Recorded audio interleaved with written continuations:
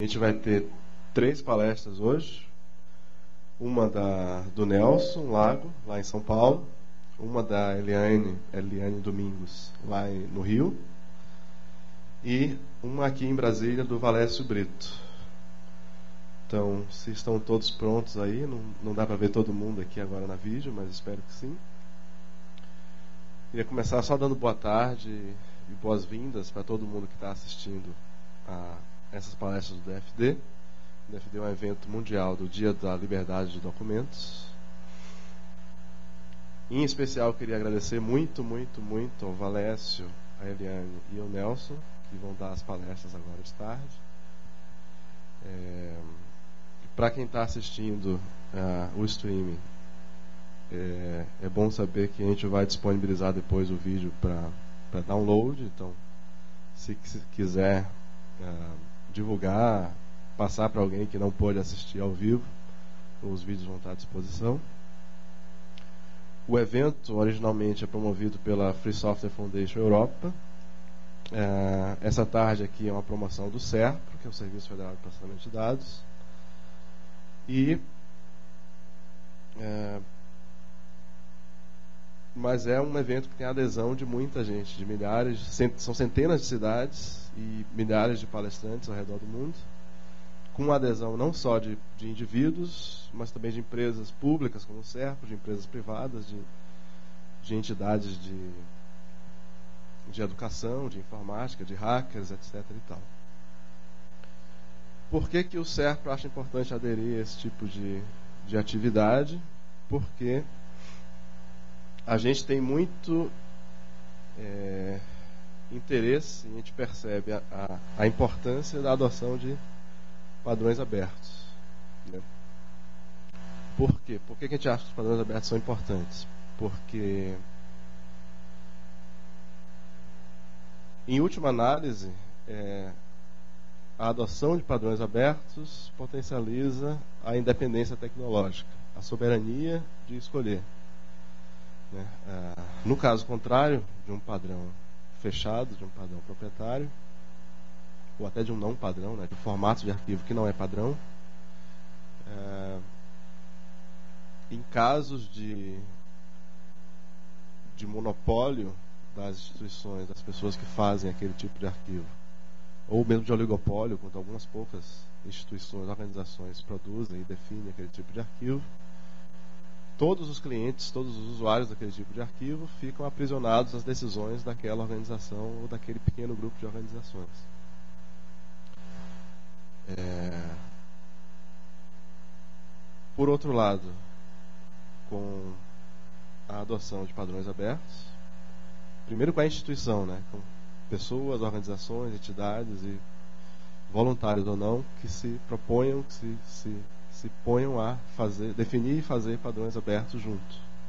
E também, em consequência, a adoção desses padrões por parte dos usuários e clientes e, e pessoas, seja lá onde for. É, esse cenário empodera muito mais o lado de quem está usando, dos usuários, é, dos usuários desse padrão, desses padrões abertos. O para a gente aqui hoje é muito importante que a gente pode decidir qual versão, por exemplo, de switch de escritório que a gente está usando. A gente pode decidir quando e por que a gente vai migrar para a próxima versão. Porque, no caso do switch de escritório, a gente tem garantido que o padrão ODF, que é o que está atrás, é um padrão aberto, é mantido de forma comunitária. E a gente não precisa se preocupar de que um dia o fabricante da suíte de escritório vai dizer que não dá mais suporte àquele padrão, àquela versão. Então isso para a gente é muito importante para o ponto de vista de, de, soberania, de autonomia na decisão tecnológica, na decisão da adoção, da migração, etc. E tal. Não só da adoção, mas também da interoperabilidade. Né? Como a gente é uma empresa grande de governo, é muito importante para a gente que a gente possa ter a liberdade de de conversar via formato de arquivo com nossos clientes, com cidadão, com, com outros países que estejam cooperando com a gente, esse tipo de coisa. Hum.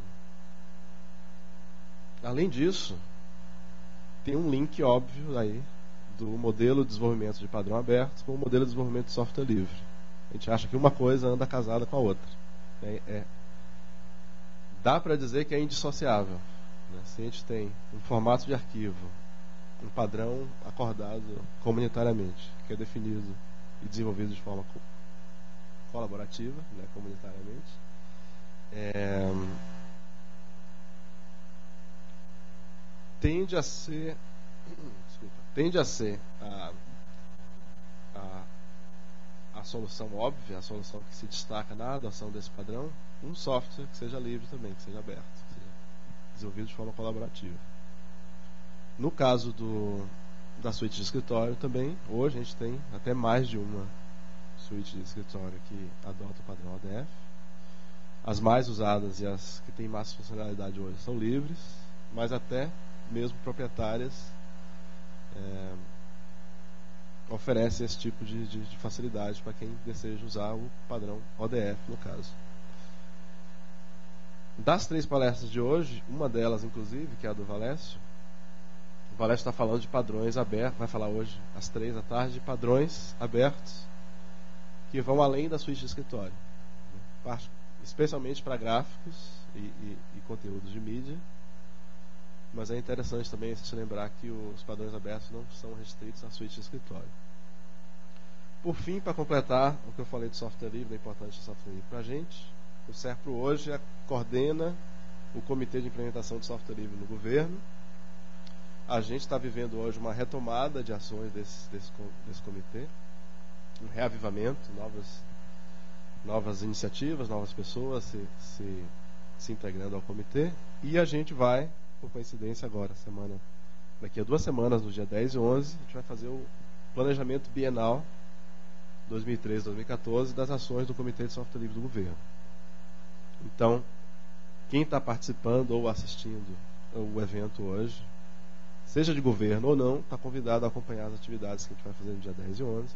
Vão ser presenciais aqui em Brasília, mas é uma reunião aberta, inclusive a sociedade civil, para participar e enviar sugestões e, e, ajudar a definir o que o governo vai fazer com ações de software livre nos próximos dois anos. Bom, é isso, acho que já falei muito. Queria de novo agradecer a, a presença do, dos palestrantes aí em São Paulo. Nelson, está pronto? Podemos passar para aí? Oi? Então é isso aí. Vai lá, Nelson. O microfone é seu. Muito obrigado. Obrigado a todo mundo. Obrigado pelo convite. É, do jeito que você está me ouvindo bem, então. Uh, eu vou falar um pouco basicamente sobre copyright e Creative Commons. Né? O, visão geral do que eu vou falar é mais ou menos isso, falar um pouquinho de onde vem essa ideia do direito de autor, como é que surgiu essa legislação, por que ela foi criada, né?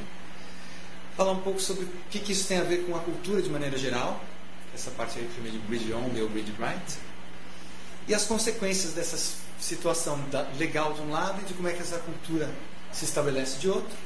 Falar um pouquinho rapidamente sobre a lei de copyright, e como é que as licenças Creative Commons interagem, vamos dizer assim, com a lei de copyright. Aí vou só citar a GNU Free Documentation License, porque ela tem uma licença é, aberta para conteúdos, né? achei que era importante citar, mas ela é bem menos importante. E uma rápida conclusão. Então, primeiro falando sobre essa ideia do direito de autor, de onde ela vem, né? O que acontece?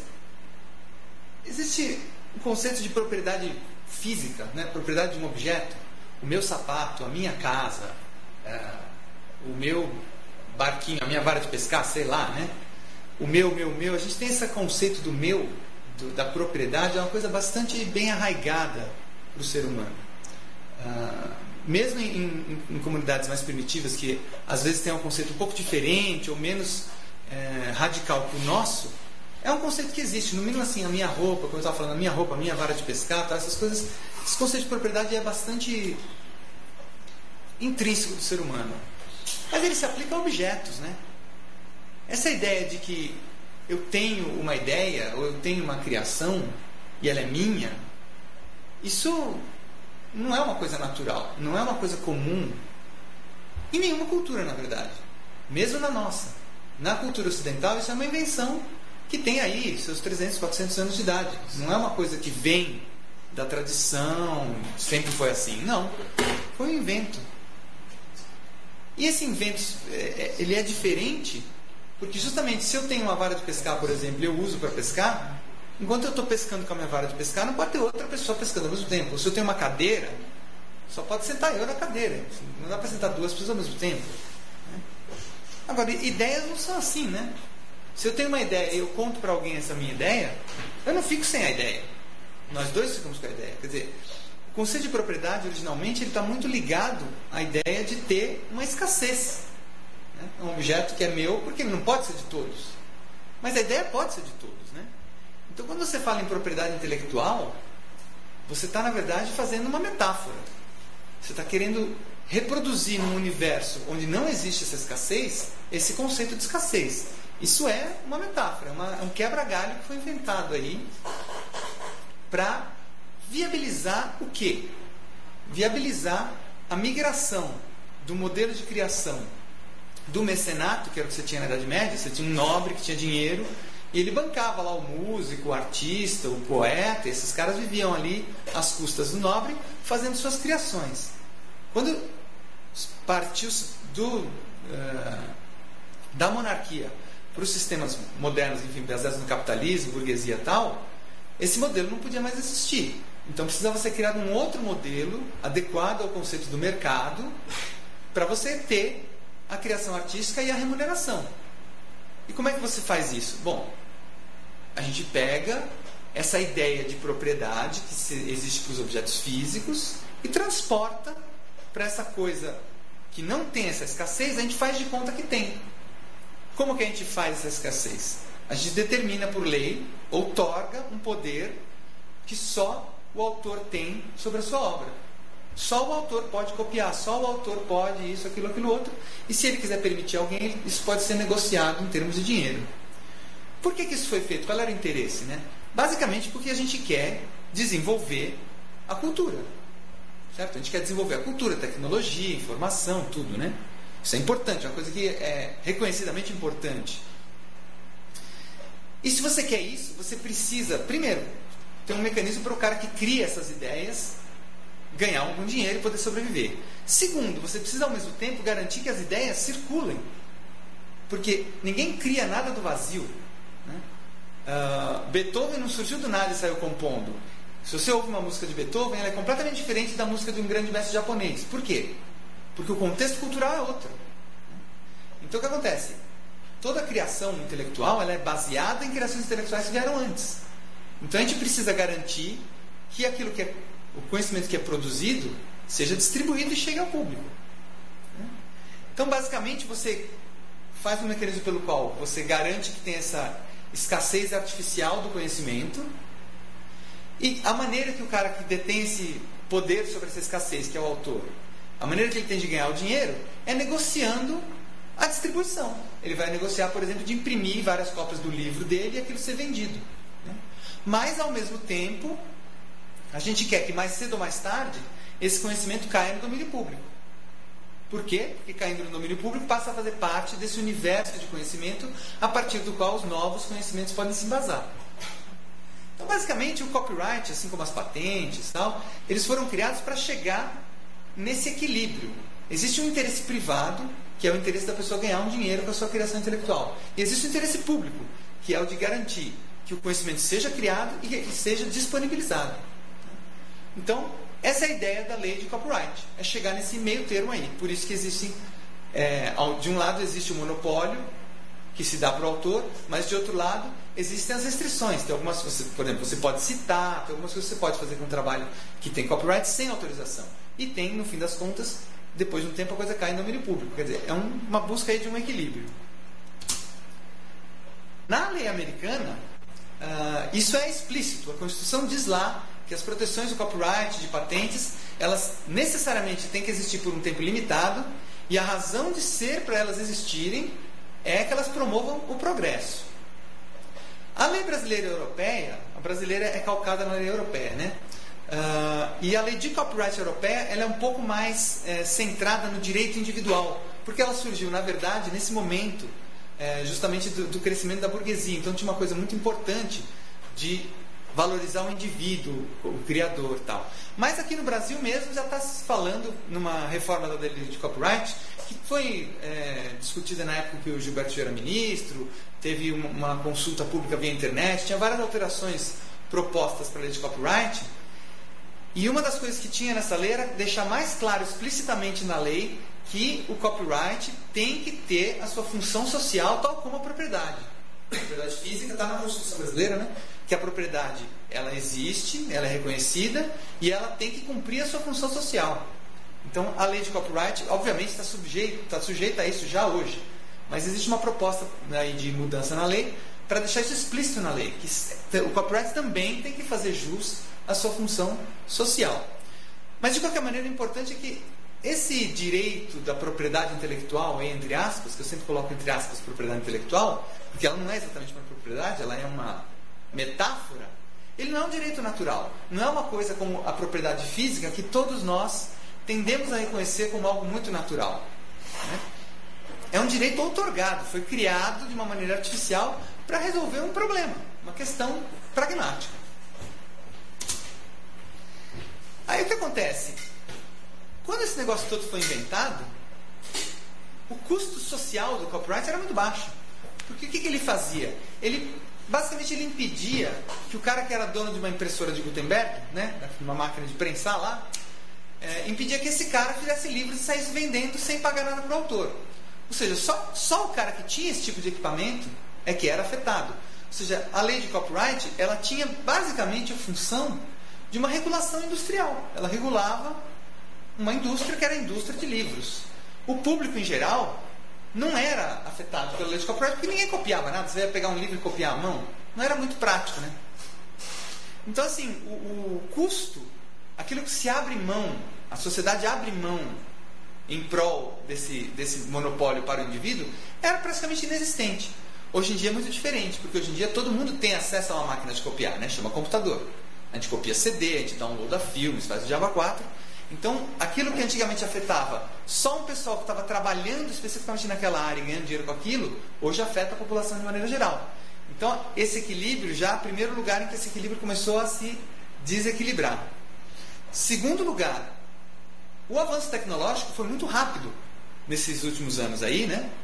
E mudou muito esse, essa realidade. Em particular, a utilidade de uma obra de arte, de uma obra de conhecimento, ela passou a ter uma vida útil menor. Você criava um livro no século XVIII, XIX, aquilo ia ficar sendo um livro importante durante 100 anos. Hoje em dia, dependendo do assunto do livro, você imprime um livro, daqui a 10 anos ninguém nem quer saber mais daquele livro. Né? Uh, agora, apesar disso, a duração do copyright, ao invés de diminuir, aumentou. E o escopo do copyright também aumentou. Antigamente, para você ter copyright sobre uma obra, você tinha que registrar num órgão público. Depois você tinha que pelo menos escrever: essa obra é copyright fulano. Hoje em dia você não precisa de nada. Você escreve um bilhete para sua empregada, esse bilhete tem copyright. Ele nasceu com copyright. Copyright é automático. Quer dizer, o escopo do copyright está aumentando. E antigamente, quando você falava em copyright, se aplicava sobre o seu trabalho, aquilo que você criou. Se alguém pegasse, por exemplo, um livro que você escreveu e fizesse uma edição comentada do livro, isso era um trabalho derivado, mas isso não caía dentro da lei de copyright, porque o cara estava agregando um novo conteúdo ao seu. Hoje em dia, não. Tudo que é trabalho derivado também está restrito. Então, quer dizer, toda aquela ideia do equilíbrio me parece estar cada vez mais pendendo para um desequilíbrio no sentido de valorizar muito o aspecto individual e muito pouco o aspecto social. Por quê? Porque tem um lobby, tem toda uma indústria muito poderosa em cima disso, né? fazendo é, política mesmo.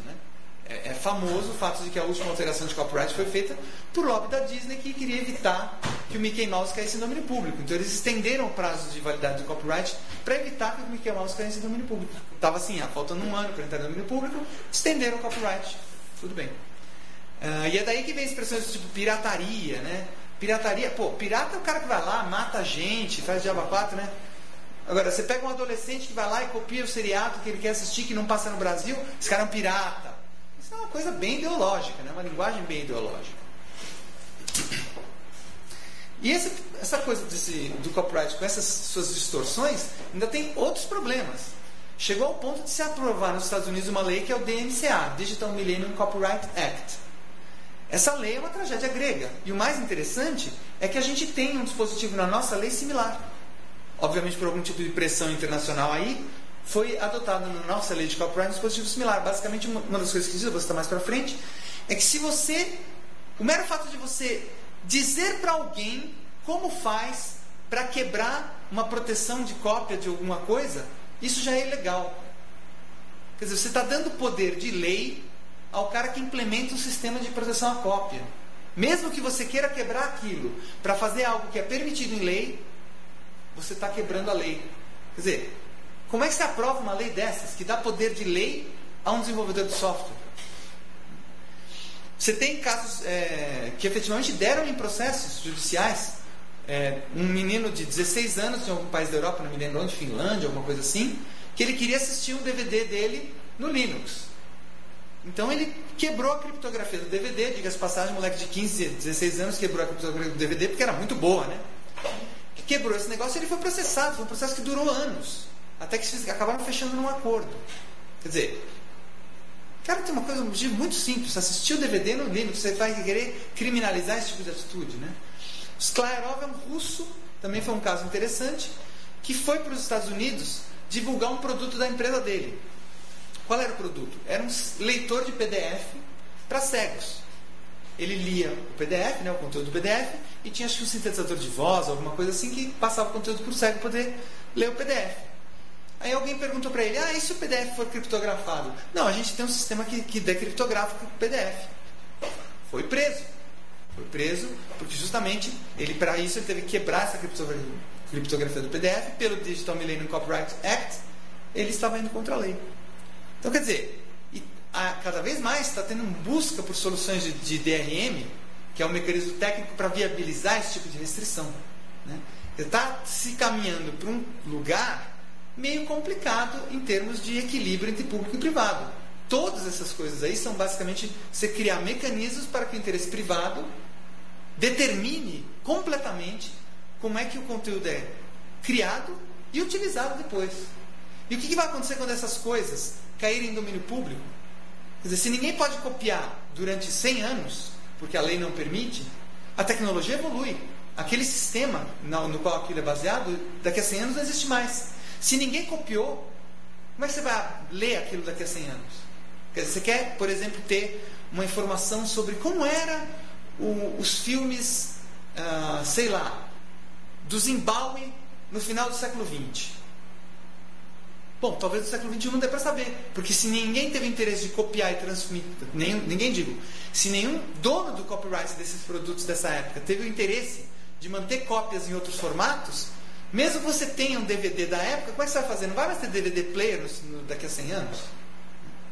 E o negócio vai ser criptografado, quer dizer, um outro interessado, estudioso, nesse meio tempo, ele não pode ter copiado, porque a lei proíbe. Quer dizer, algo não está indo muito bem aí. Agora, uma coisa importante é que assim, eu estou falando aí muito né, do autor que cria né, e as pessoas que consomem. Né? Porque, de fato, se você pensar, o reino do copyright é esse. Né? Você está falando de quê? Livros de ficção, né? romances, tal, né? livros técnicos, livros didáticos, né? poesia, música, peças de teatro, obras de arte, cinema. Tudo isso é o reino do autor. Né? Você tem um autor que cria esse tipo de coisa. Né? E é nesse universo que fica a cultura. A base da cultura é essa, né? Essa criação desse autor. Ou não, né? Porque na verdade tem muita criação que não depende de um autor bem claro, assim, bem determinado, que está ali fazendo aquilo para ganhar um dinheiro, porque ele vive disso. Você está falando em termos de folclore, cultura popular, lendas e histórias são passadas de geração em geração, canções populares ou folclóricas, poesia, repente, artesanato, receitas, até medicina tradicional. Tudo isso são coisas onde esse, essa figura do autor é muito diluída. E mesmo quando você está falando em cultura popular, às vezes é muito fácil você reconhecer o autor. Né? O cara fez a canção popular dele lá. Daqui a 100 anos você não vai mais saber quem é, porque aquela canção vai, vai se espalhar pela cultura. Mas hoje em dia você pode até virar, não, o autor é esse cara. Mas esse cara Ele não está preocupado se tem alguém em outro lugar cantando, tocando, copiando ou gravando a música dele. Esse cara não é esse autor profissional que está preocupado com esse mecanismo de ganhar dinheiro com a sua criação, certo? Ele não é um especialista da cultura. Ele não é um cara que vive disso. Ele é um cara que vive dentro da sua cultura e da sua, do seu universo. E dentro desse universo ele cria e participa dessa cultura ativamente. Hoje em dia tem coisas novas em relação a isso, né? Você pega a Wikipedia, é um exemplo bem radical. A Wikipedia é isso, né? Quem é o autor da Wikipedia? Você pega um artigo lá, vai ter dezenas, às vezes centenas de pessoas que contribuíram para criar aquilo. Quanto eles ganharam para fazer aquilo? Nada. Quanto eles estão preocupados se alguém vai pegar e transformar aquilo num livro e vender? Nada. A Wikipédia, a licença da Wikipédia permite isso. Grafites. O cara vai lá e pinta um grafite numa. Falando, não o cara que vai lá e assina o nome. O cara faz uma grafite, uma pintura, uma figura interessante, como aquelas que tem no Banco do Batman aqui em São Paulo. Não sei quem conhece. É um lugar que tem muitas grafites na parede, né? O cara faz aquilo lá e está preocupado. Se alguém for lá e bater uma foto, ele vai querer o copyright da foto? Você pega um filme como Kill Bill, que é citações do começo ao fim. Né? O filme inteiro é construído com base em eu vou chupar coisas de outros filmes. Né? Agora, claro, esse foi o trabalho de um autor ainda, né? Mas tem muitos trabalhos, se você pensar em termos de YouTube, que envolvem você pegar e fazer colagens de vários filmes, por exemplo. Um exemplo que é divertido é o filme A Queda, que é aquele filme sobre as últimas horas do Hitler, lá no. no uh, antes, enfim, na guerra, ele ser, ser pego e tal. Se pego não, ser morto, né? Fizeram um filme a respeito, é uma espécie. Não, um filme, é um, mas, é um semi-documentário, né? Porque tem atores simulando aquela história, né? Tem uma cena desse filme que, que é muito marcante e que, não só no Brasil, mas principalmente aqui no Brasil, foi é, parodiada inúmeras vezes. Você vai no YouTube, tem várias versões dessa cena, porque o filme é falado em alemão, pouca gente no Brasil fala em alemão. Então, passa o filme em alemão e coloca uma legenda em português com um texto que não tem nada a ver. Então, uma delas era, por exemplo, o Sarney reclamando do uso dos cartões corporativos. Né? Tem várias é, paródias que vão em função das notícias, o que está acontecendo no momento tal. Alguém vai lá e faz uma paródia sobre esse filme. Então, se vocês quiserem procurar, vale a pena ter algumas divertidas. Quer dizer, ah, essa coisa de colar materiais é muito comum. E quem está colocando isso no YouTube também não está preocupado em ganhar dinheiro com isso, né? Você tem remixes musicais também, samplings. Na década de 90 e anos 2000 ficou bem comum essa coisa de você pegar uma música e fazer outra música em cima. Você pega um sample de uma música original e faz outra música. Ou mashups. Né? Pode fazer com imagens ou com música. Né? Blogs. O cara que escreve num blog, ele não está muito preocupado com como que ele vai ganhar dinheiro com aquilo. Né? E menos ainda quem comenta no blog. Às vezes os comentários são tão interessantes quanto o post do blog. Isso tudo além daquilo que eu falei do folclore e da cultura popular. São formas novas aí de conhecimento, que são esse conhecimento, primeiro, que não tem um autor tão bem definido. Segundo, envolve uma criação que é mais coletiva. E terceiro, envolve uma certa apropriação do que é dado da cultura. Então o que acontece? Se existia esse interesse público e privado, que estava se tentando encontrar um equilíbrio pela lei de copyright, a legislação de um lado e a tecnologia do outro acabaram contribuindo para se perder esse equilíbrio.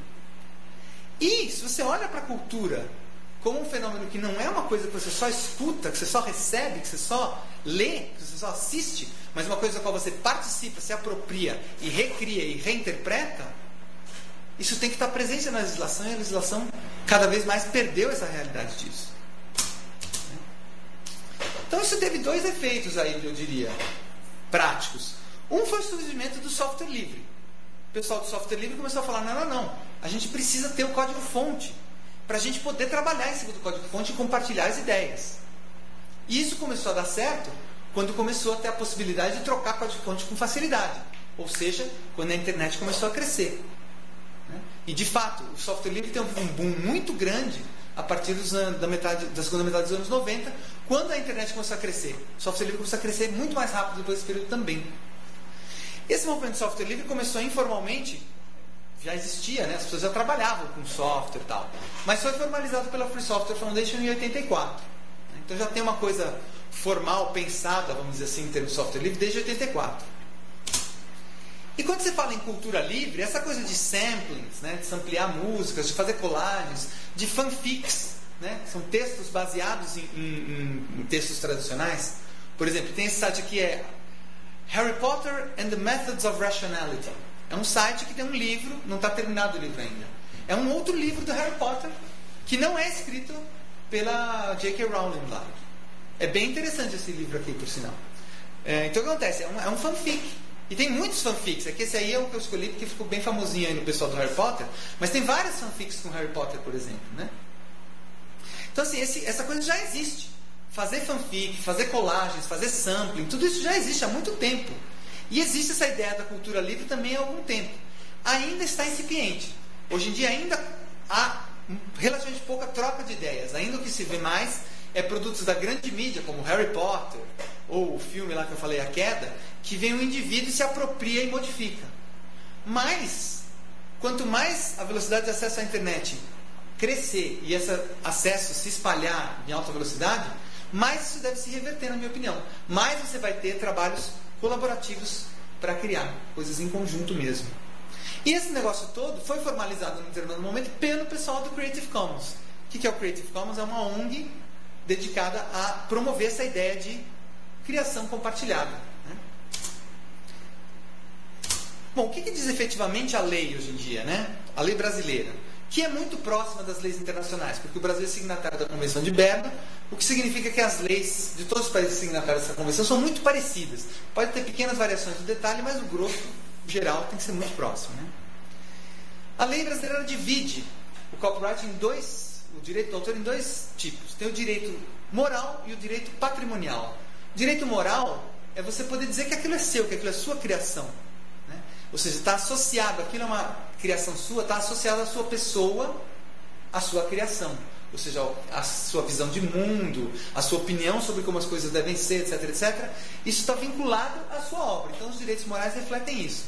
Você pode então virar e falar assim: essa obra é minha, eu posso virar e falar assim: eu não quero que ninguém modifique isso daqui sem a minha autorização. Por quê? Porque a obra é minha e ela reflete a minha visão de mundo. Eu não quero que alguém reutilize para fazer uma outra visão de mundo que não bate com aquilo que eu espero. Ele pode, inclusive, o autor pode retirar a obra de circulação se ele achar que a obra de alguma maneira está sendo usada para denegrir a sua imagem pessoal. E esses direitos são inalienáveis e irrenunciáveis no Brasil. E tem os direitos patrimoniais que é onde o pessoal se preocupa mais, que é onde está o dinheiro, certo? Os direitos patrimoniais é que diz, basicamente, que o, o autor é quem tem o direito de utilizar e fruir e dispor da obra. Se ele quiser, ele pode ceder esse direito para outras pessoas, mediante pagamento. E essa cessão tem que ser feita previamente e de forma expressa pelo autor. Para qualquer tipo de uso. A lei lista lá um monte de tipos de uso, mas na verdade diz assim: quaisquer modalidades, tais como. Ou seja, a lista que diz lá são exemplos. Se surgir uma outra modalidade de uso, também é restrita pelo de copyright. Né? E o direito patrimonial, ele vale por 70 anos após a morte do autor, o que é um tanto quanto dramático. Significa que, tipicamente, qualquer coisa está sob copyright por pelo menos 100 anos. Né? Normalmente, o cara, se o cara faz uma criação por volta dos 30, 40 anos, espera-se que ele vai viver mais uns 30 anos. Depois desses 30, que ele vai contar mais 70, quer dizer, são 100 anos de copyright. É muita coisa. Existem limitações ao, ao, ao, ao que o copyright restringe, né? Por exemplo, se você vai dar uma notícia, você pode copiar uma notícia de alguém que, que também está noticiando em algumas circunstâncias ali que a lei define, né? Você pode fazer citações. Você, quer, você tem um livro, você pode citar um parágrafo, um trecho em que ele explica um conceito tal, com um texto seu. Você pode, por exemplo, na sua casa, o seu filho pode recitar para você uma poesia, sem precisar pagar ninguém. Olha só que legal. Desde que seja, lógico, estritamente doméstico e sem lucro. Mas, por exemplo, a lei brasileira não permite que você pegue um CD e converta a música para MP3 para ouvir no seu celular, no seu tocador de MP3. Não pode. Todo mundo que faz isso está efetivamente quebrando a lei de copyright. E se alguém efetivamente for lá e processar, é que ninguém vai fazer isso, porque isso é completamente corriqueiro. Mas se alguém for lá e efetivamente processar, é o que a lei diz, a lei não permite. A lei não tem uma cláusula que diz isso é permitido. Não está nas exceções, ou seja, não está nas limitações de copyright. Portanto, se aplica o que a lei diz. A lei diz qualquer forma de uso está restrita. E, como eu estava falando antes, você tem as sanções, e uma das sanções é essa.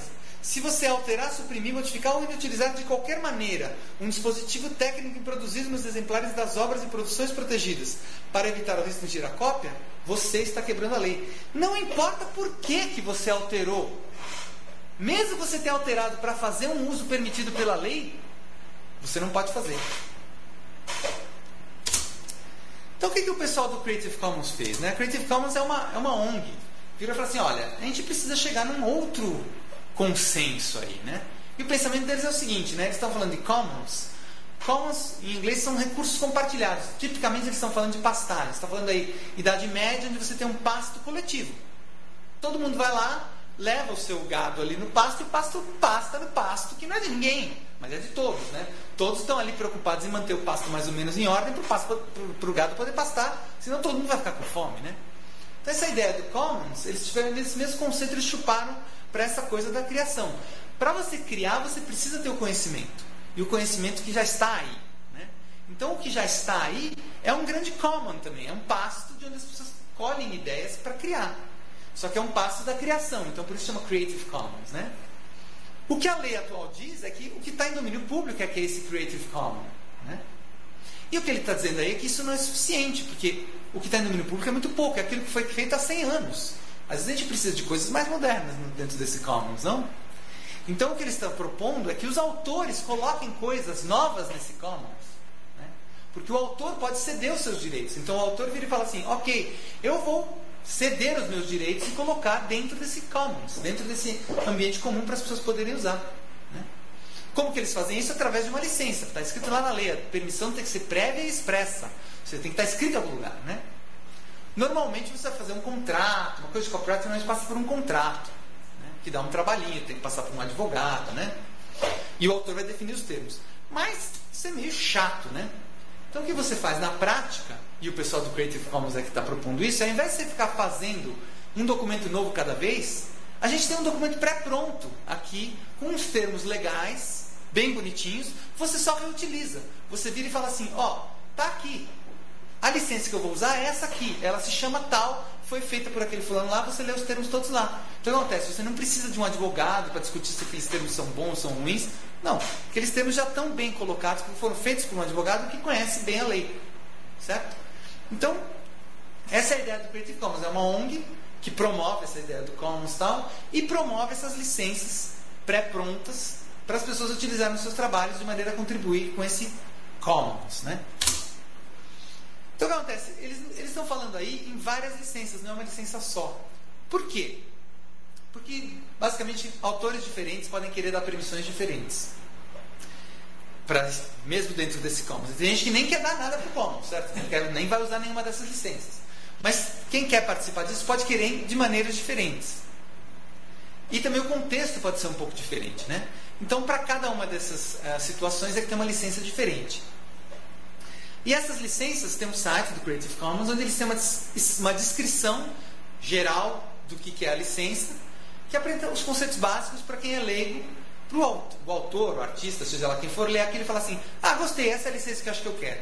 E tem um texto efetivamente legal, é o texto que determina, do ponto de vista legal, em advoguês bonitinho, né, o que, que aquela licença diz e deixa de dizer. Em particular, uh, quem for olhar o site da Creative Commons, eles têm lá uma coisa sobre licenças que são ported e unported. Que diabos é isso, né? Uh, as licenças Creative Commons originais, elas foram feitas com base na Convenção de Berna, basicamente. Então, elas, em princípio, são válidas em qualquer país que seja signatário da Convenção de Berna. Bacana. Só que, como eu estava dizendo, cada país pode ter detalhes legais, nuances legais. Né? Então, o que acontece? Cada país pode pegar essas licenças e modificar o texto, além de traduzir o texto da licença para a língua nativa, né, pode modificar o texto de maneira a adequar melhor para os aspectos da lei uh, que são locais daquele país. Ela não deixa de ter validade internacional, porque nunca deixa. O fato de eu, ter, de eu ser um autor de um livro no Brasil não quer dizer que o meu copyright brasileiro não valha nos Estados Unidos. Vale por causa da Convenção de Berna. Mas os termos podem variar um pouquinho. Então essa que é a questão de você adequar ou não para a lei local. Então tem essas, essas uh, licenças que são unported, que em princípio valem internacionalmente. E tem as portas que definem mais claramente, é, em função da legislação local, como é que a coisa tem que funcionar. A gente tem aqui no Brasil o Creative Commons, uh, tem um pessoal que trabalha aqui, e tem a licença Creative Commons Ported para a lei brasileira. Então ela é uma licença em português, com os termos definidos dentro do que a legislação brasileira é, propõe. A maioria dos países tem, mas eventualmente pode usar não ported se você quiser. E essa família de licenças, então, cada uma tem uma característica, né? a gente vai falar um pouquinho sobre elas, mas em particular em todas é obrigatória a atribuição da autoria. Na verdade, a lei já diz isso, né? A lei brasileira já diz isso. Mas, eventualmente, pode não ser é, obrigatório em algum lugar. Tal. Então, nas Creative Commons, isso já é garantido. Eles até chegaram a criar umas licenças em que isso não era obrigatório. Mas eles perceberam que ninguém tinha interesse nessas licenças. Então, eles tiraram. Então, em todas é obrigatória a atribuição da autoria. E em todas é, tem que ser permitido copiar, distribuir, transmitir, executar a obra. Porque se eu não estou dando, no mínimo, esses direitos, eu não estou colocando a minha obra no Commons. Então, a licença não é Creative Commons, não, não, não interessa para esse pessoal. As licenças Creative Commons são aquelas que colaboram com isso, com a maneira que as pessoas vão colocar as coisas no Commons. Então, no mínimo, esses direitos elas estão cedendo sempre. Todas essas licenças cedem esses direitos. Copiar, distribuir, transmitir, executar a obra, enfim, utilizar a obra de alguma maneira. Agora, por que, que tem as diferentes licenças? Porque tem três perguntas básicas aí. Que é, primeiro, a licença permite trabalhos derivados ou não? Ela pode permitir. Eu posso pegar e usar aquilo que está no Commons para criar uma outra coisa. Ou não. A licença não permite. Eu posso ler aquilo, assistir aquilo, se for um filme, ou ouvir aquilo, se for uma música, aprender com aquilo, isso cria cultura, vamos dizer assim, mas eu não posso utilizar aquilo para criar novas uh, variações daquilo. Né? Depende, tem gente que quer permitir, tem gente que não. A licença permite uso comercial? Se sim, eu posso pegar, por exemplo, imprimir um livro e sair vendendo. Né? Se não, ah, aí não pode. Aí eu vou precisar, por exemplo, negociar com o autor para ele me dar uma outra licença separada da Creative Commons para que eu possa vender. E aí, obviamente, eu vou ter que pagar. Talvez o cara queira, então, ter essa possibilidade. Né? E a, a licença permite redistribuição sobre licença diferente? Também é o mesmo caso. Eu pus o meu negócio no Commons. Eu quero permitir que alguém pegue esse negócio do Commons e tire do Commons, ou seja, não é que tire, né? Fica uma cópia lá, vamos dizer assim. Mas ele pega e cria uma outra coisa que não está no Commons a partir daquilo que eu fiz, eu posso permitir ou não. Né? Tem gente que vai permitir e tem gente que não. E é por, conta dessas três perguntas que tem as licenças diferentes. Como eu falei antes, não se pergunta mais se é preciso atribuição. Todas as Creative Commons assumem que você quer atribuição. Então, quais são essas licenças do Creative Commons? Né? A mais simples é apenas atribuição. Ela permite que você crie trabalhos derivados, permite que você use de maneira comercial, permite que você relicencie de outra maneira, que não seja é, é, Creative Commons. Ela é mais aberta de todos. Basicamente, você pode fazer qualquer coisa com aquele conteúdo que está lá, desde que você lembre de dizer que foi fulaninho que fez, o que já é obrigatório pela lei anyway. Né? Quem quiser ler o texto da licença está no site da URL e normalmente as pessoas usam esse, essa figurinha aí para dizer que é esse tipo de licença. By by seria por quem, né? O autor em inglês. Outra que é bastante comum é a que você tem que dar atribuição, todas têm que dar atribuição, e você não pode fazer nenhum uso comercial, mas você pode fazer trabalhos derivados, você pode relicenciar de uma forma que não seja Creative Commons, desde que não seja um uso comercial. Para que diabo serve isso? Ah, eu posso querer, por exemplo, colocar no meu Commons e permitir que as pessoas usem das diversas maneiras possíveis. Mas se a pessoa quiser imprimir um livro, ele vai ter que falar comigo e aí eu vou ganhar uma grana. Por quê? Eu acho que se alguém vai ganhar dinheiro, eu tenho que ter dinheiro de ganhar dinheiro também. Se ninguém vai ganhar dinheiro, aí faz o que quiser. Ou se o cara até vai ganhar dinheiro, mas é um trabalho derivado, já não é mais a minha autoria, bom, aí tudo bem também. Aí essa licença é bastante interessante. Qual é a outra que tem? É a que restringe obras derivadas, ou seja, você não pode criar trabalhos derivados. Mas você pode fazer utilização comercial, você pode relicenciar sem ser Creative Commons. Para que, que você vai usar isso daí?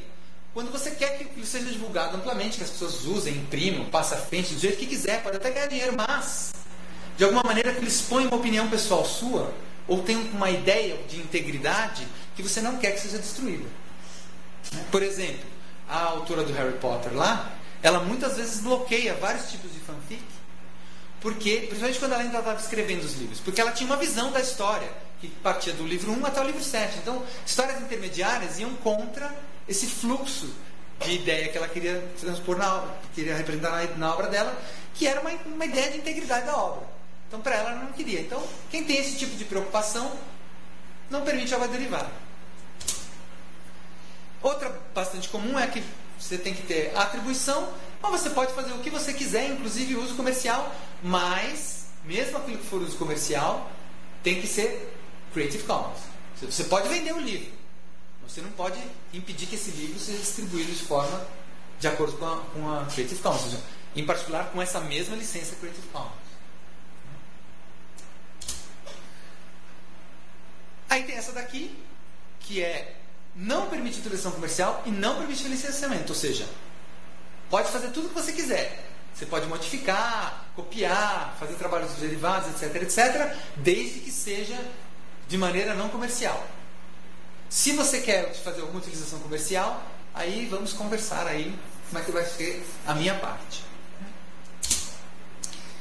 E a mais restritiva de todas, que é a que não permite nenhuma das coisas. Né? Não permite trabalhos derivados, não permite utilização comercial e não permite relicenciamento. Só permite basicamente que você copie e redistribua e utilize, frua. Né? Ou seja, você lê ou assiste ou ouve aquele material, aprende com aquilo, distribui para os outros, mas você não pode criar em cima daquilo nem ganhar dinheiro em cima daquilo. Aí, enfim, eu falei que tinha aquelas três perguntas, né? Se vocês perceberem bem, essas três perguntas elas geram uma certa análise combinatória aí, né? Aí você pode falar assim, mas peraí, então ficou faltando umas.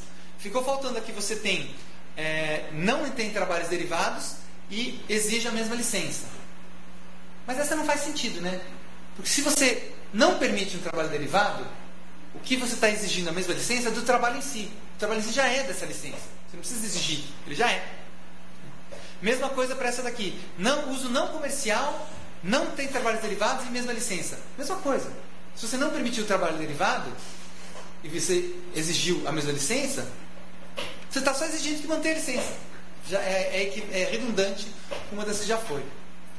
Então, assim, na verdade, para você escolher, você está criando um trabalho qualquer, né? Coletivo ou individual, qualquer coisa assim. Você quer criar um trabalho, você quer escolher sobre qual licença Creative Commons você quer colocar, tem um wizard no site dele. Você entra lá, ele te faz umas perguntinhas, você responde, e aí ele fala assim: escolhe essa licença aqui, é a Creative Commons tal.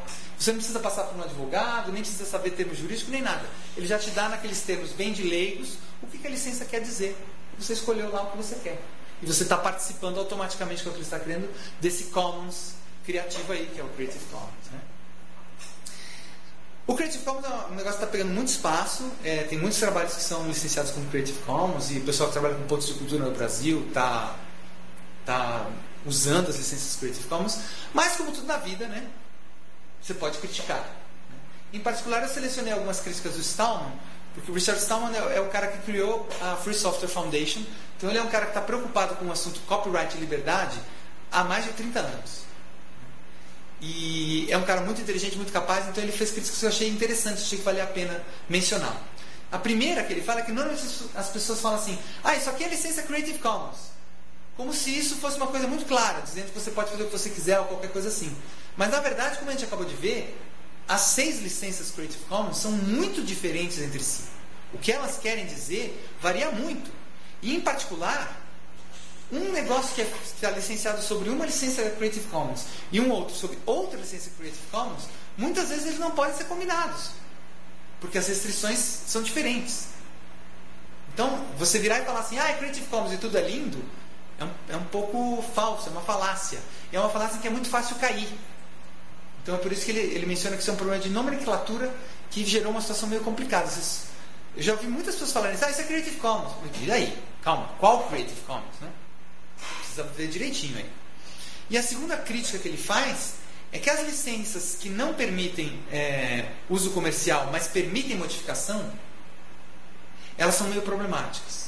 Você fala assim, ah, que legal, elas permitem uso não comercial e permitem que esse uso não comercial crie modificações. Então as pessoas podem ir lá criar e modificar e fazer coisas muito bacanas. Agora, se alguém quiser ganhar dinheiro, vai lá e fala com o autor e, pô, me parece justo, né? Mas tem um problema aí. O problema é essa frase que eu falei. Vai lá e fala com o autor. Quem é o autor depois que 30 neguinhos passaram por ali e fizeram modificações? Você não tem mais o autor. Ou, pelo menos você não tem uma maneira prática de chegar nesse autor, porque não é mais um cara, são 30, 50, 100. E aí como é que você faz? Você vira assim, esse livro que está aqui sobre Creative Commons, que teve um cara que começou a escrever 10 anos atrás e que agora acabou de ser escrito por mais 50 pessoas, ficou muito legal, eu achei genial, eu quero imprimir esse livro e vender. Eu não posso, porque eu não tenho como fechar um acordo comercial com 50 autores diferentes. Eu não tenho como achar esses caras.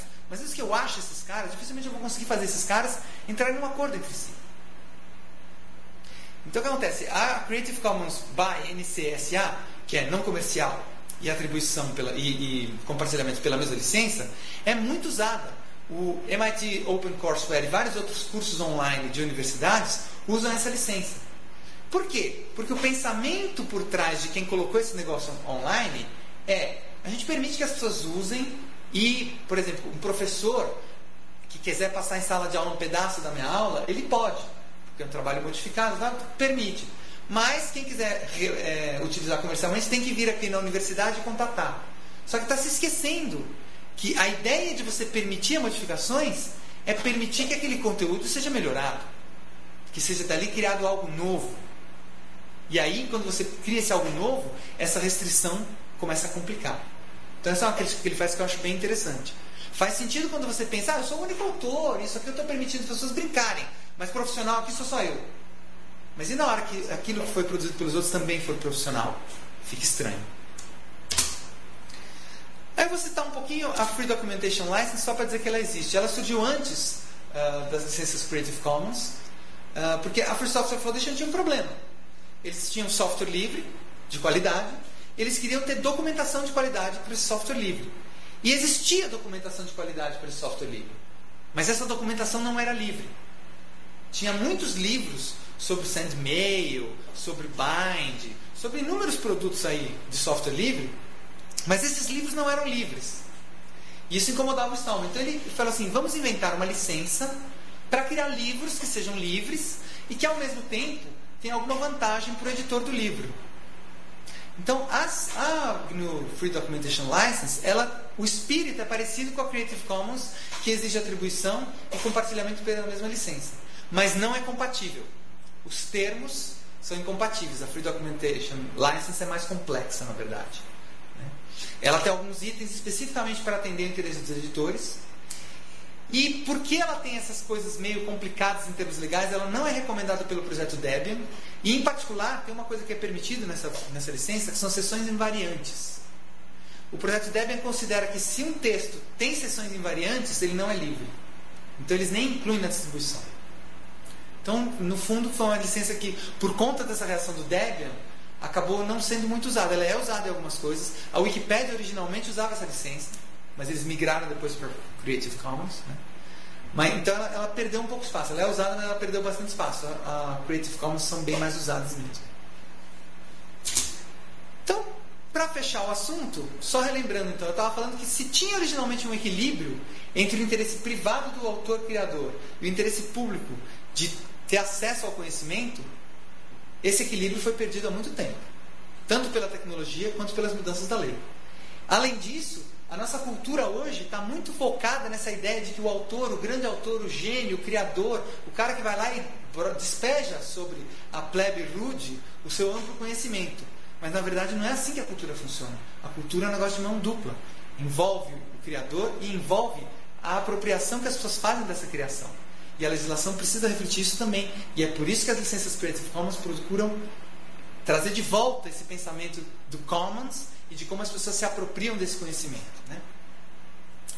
Uh, é bom lembrar então que o, o, ponto central das licenças Creative Commons é que elas sempre permitem o uso e redistribuição. Né? Os termos variam, pode ser comercial ou não, se pode ter modificação ou não, etc. Mas o uso e a redistribuição da obra, como ela é, para uso não comercial, sempre é permitido. Mas elas podem não ser compatíveis entre si. Uma Creative Commons não é automaticamente compatível com a outra. Então, cuidado de falar assim: ah, essa é Creative Commons Precisa especificar direito do que você está falando. E é importante lembrar uma coisa: quando você não diz nada sobre um produto que você cria, uma criação intelectual qualquer, aplicam-se todas as restrições do copyright. Ou seja, você virar e falar assim: ah, eu coloquei na internet, então é livre? Não, não, não. Você colocou na internet, você não disse nada, então aplica-se o copyright, ninguém pode fazer nada. No máximo, as pessoas podem ler, porque que você pôs online supostamente para você ler. Mas se a pessoa copiar para imprimir e mostrar para o amigo dele, já não pode. Pela lei de copyright não pode, e se você diz que não pode, não pode. Então basicamente é isso. Não sei se alguém tem alguma pergunta. Hum, aqui no Twitter não chegou. Não chegou perguntas pelo Twitter. Certo. É que o Twitter tá longeado, né? Tudo certo. Não, 3G. Não, mas para os outros então, né? ah, tá. Só tem um negócio, lá falou que não tem não atribuição. Tipo, Onde? coisa diferente de atribuição. De isso é bem recente. É, é, Desculpa, eu não entendi de novo. É. Coisa não atribuição, não tem sentido nem por que falar não atribuição, uma licença Ah, sim, eles tiraram isso, é. Então, aqui no Flickr, é, no Flickr, lá, flickr.com, erro, quando Sei, sei, Flickr. foto tem, é, você coloca Creative Commons, tem não atribuição, não sei as quantas, tem um monte de forma e tem vai de não atribuição no texto. Então, provavelmente eles mantiveram, porque tinha, nas Creative antigas tinha. Eu não sei quando foi eliminado. Mas hoje em dia só tem seis e todas elas exigem atribuição. É só isso. E o negócio que eu falar só Creative Commons, é verdade, eu mesmo eu fiz isso algumas vezes. E eu tô até com vontade de entrar agora no site de uma banda francesa, né, eu tô pra ver Creative Commons, o que é aquela porra? É. Eu sei Creative Commons. Exatamente. Você- a única coisa que te diz quando você fala que é Creative Commons é que o uso e a redistribuição não comerciais são permitidos. Então, se você é um usuário doméstico, certo? E você quer gravar no CD para sua namorada, Creative Commons, qualquer uma, tá valendo. É, nesse caso, Mas, não fiz nada legal aqui, mas por exemplo, eu comprei CD do Jay Skylab no final do ano passado e fiz og, a coisa tá aqui pra mim ouvir. Não pode, fiz algo legal. Depende do termo, exatamente.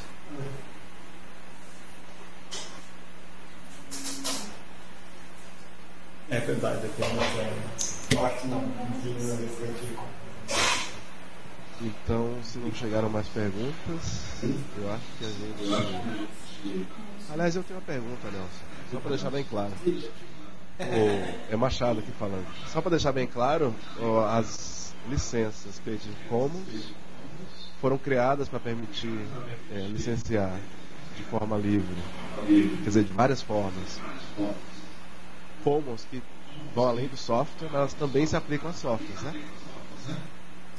Normalmente não. É, tanto o pessoal da Free Software Foundation quanto o próprio pessoal do Creative Commons, eles não recomendam usar essas licenças para software.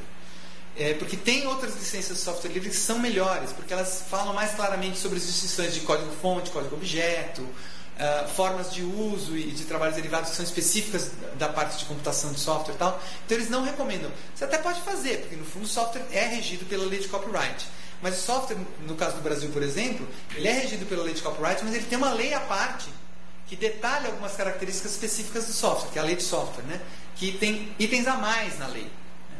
Então, justamente por essas especificidades que exigiram uma legislação a mais, também vale a pena você ter licenças que são específicas para lidar com essas especificidades exatamente do software. Nossa, muito bom. Mas minha pergunta era pegadinha. É, que ela tem uma consequência agora. É, eu não sei, não sei se tu sabe me dizer o que acontece com as coisas que código e conteúdo se misturam. Por exemplo, SVG, PDF, tem alguns outros formatos que dá para misturar, né? Script com conteúdo na mesma coisa. Aí vale Creative Commons, certo?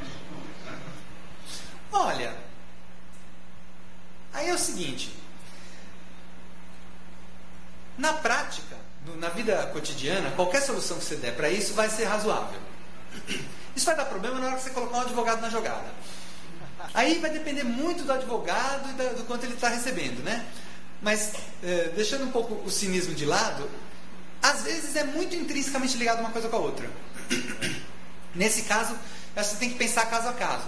Por exemplo, no caso de um, de um SVG, que é uma imagem, é uma imagem, eu usaria Creative Commons. No caso que é um SVG, que tem uma pequena animação, uma coisa assim, a tecnologia, o, o- o script que está por trás de fazer aquela animação, não é uma parte realmente importante. Então, Creative Commons. Agora, um programa de computador que tem um monte de coisa e lá no meio ele tem um logotipo, aí melhor usar uma licença de software livre, né? E muitas, tem algumas situações, na verdade tem muitas situações, em que você consegue separar uma coisa da outra mesmo. Aí você licencia uma parte com uma licença de software e uma parte como Creative Commons. Por exemplo, um jogo. Você tem um jogo, você tem uma engine de jogo, né? que é o sistema que faz todos os cálculos, desenha os personagens da tela, lá. E você tem o enredo do jogo. Né? Quais são as fases, as personagens, as figuras tal. Então você pode licenciar o engine com uma licença de software e o enredo com uma licença Creative Commons. Mas de fato tem muitas situações em que não é clara essa separação. Aí é meio no caso a caso e não é muito fácil mesmo. Imagina, por isso que a gente faz software não faz.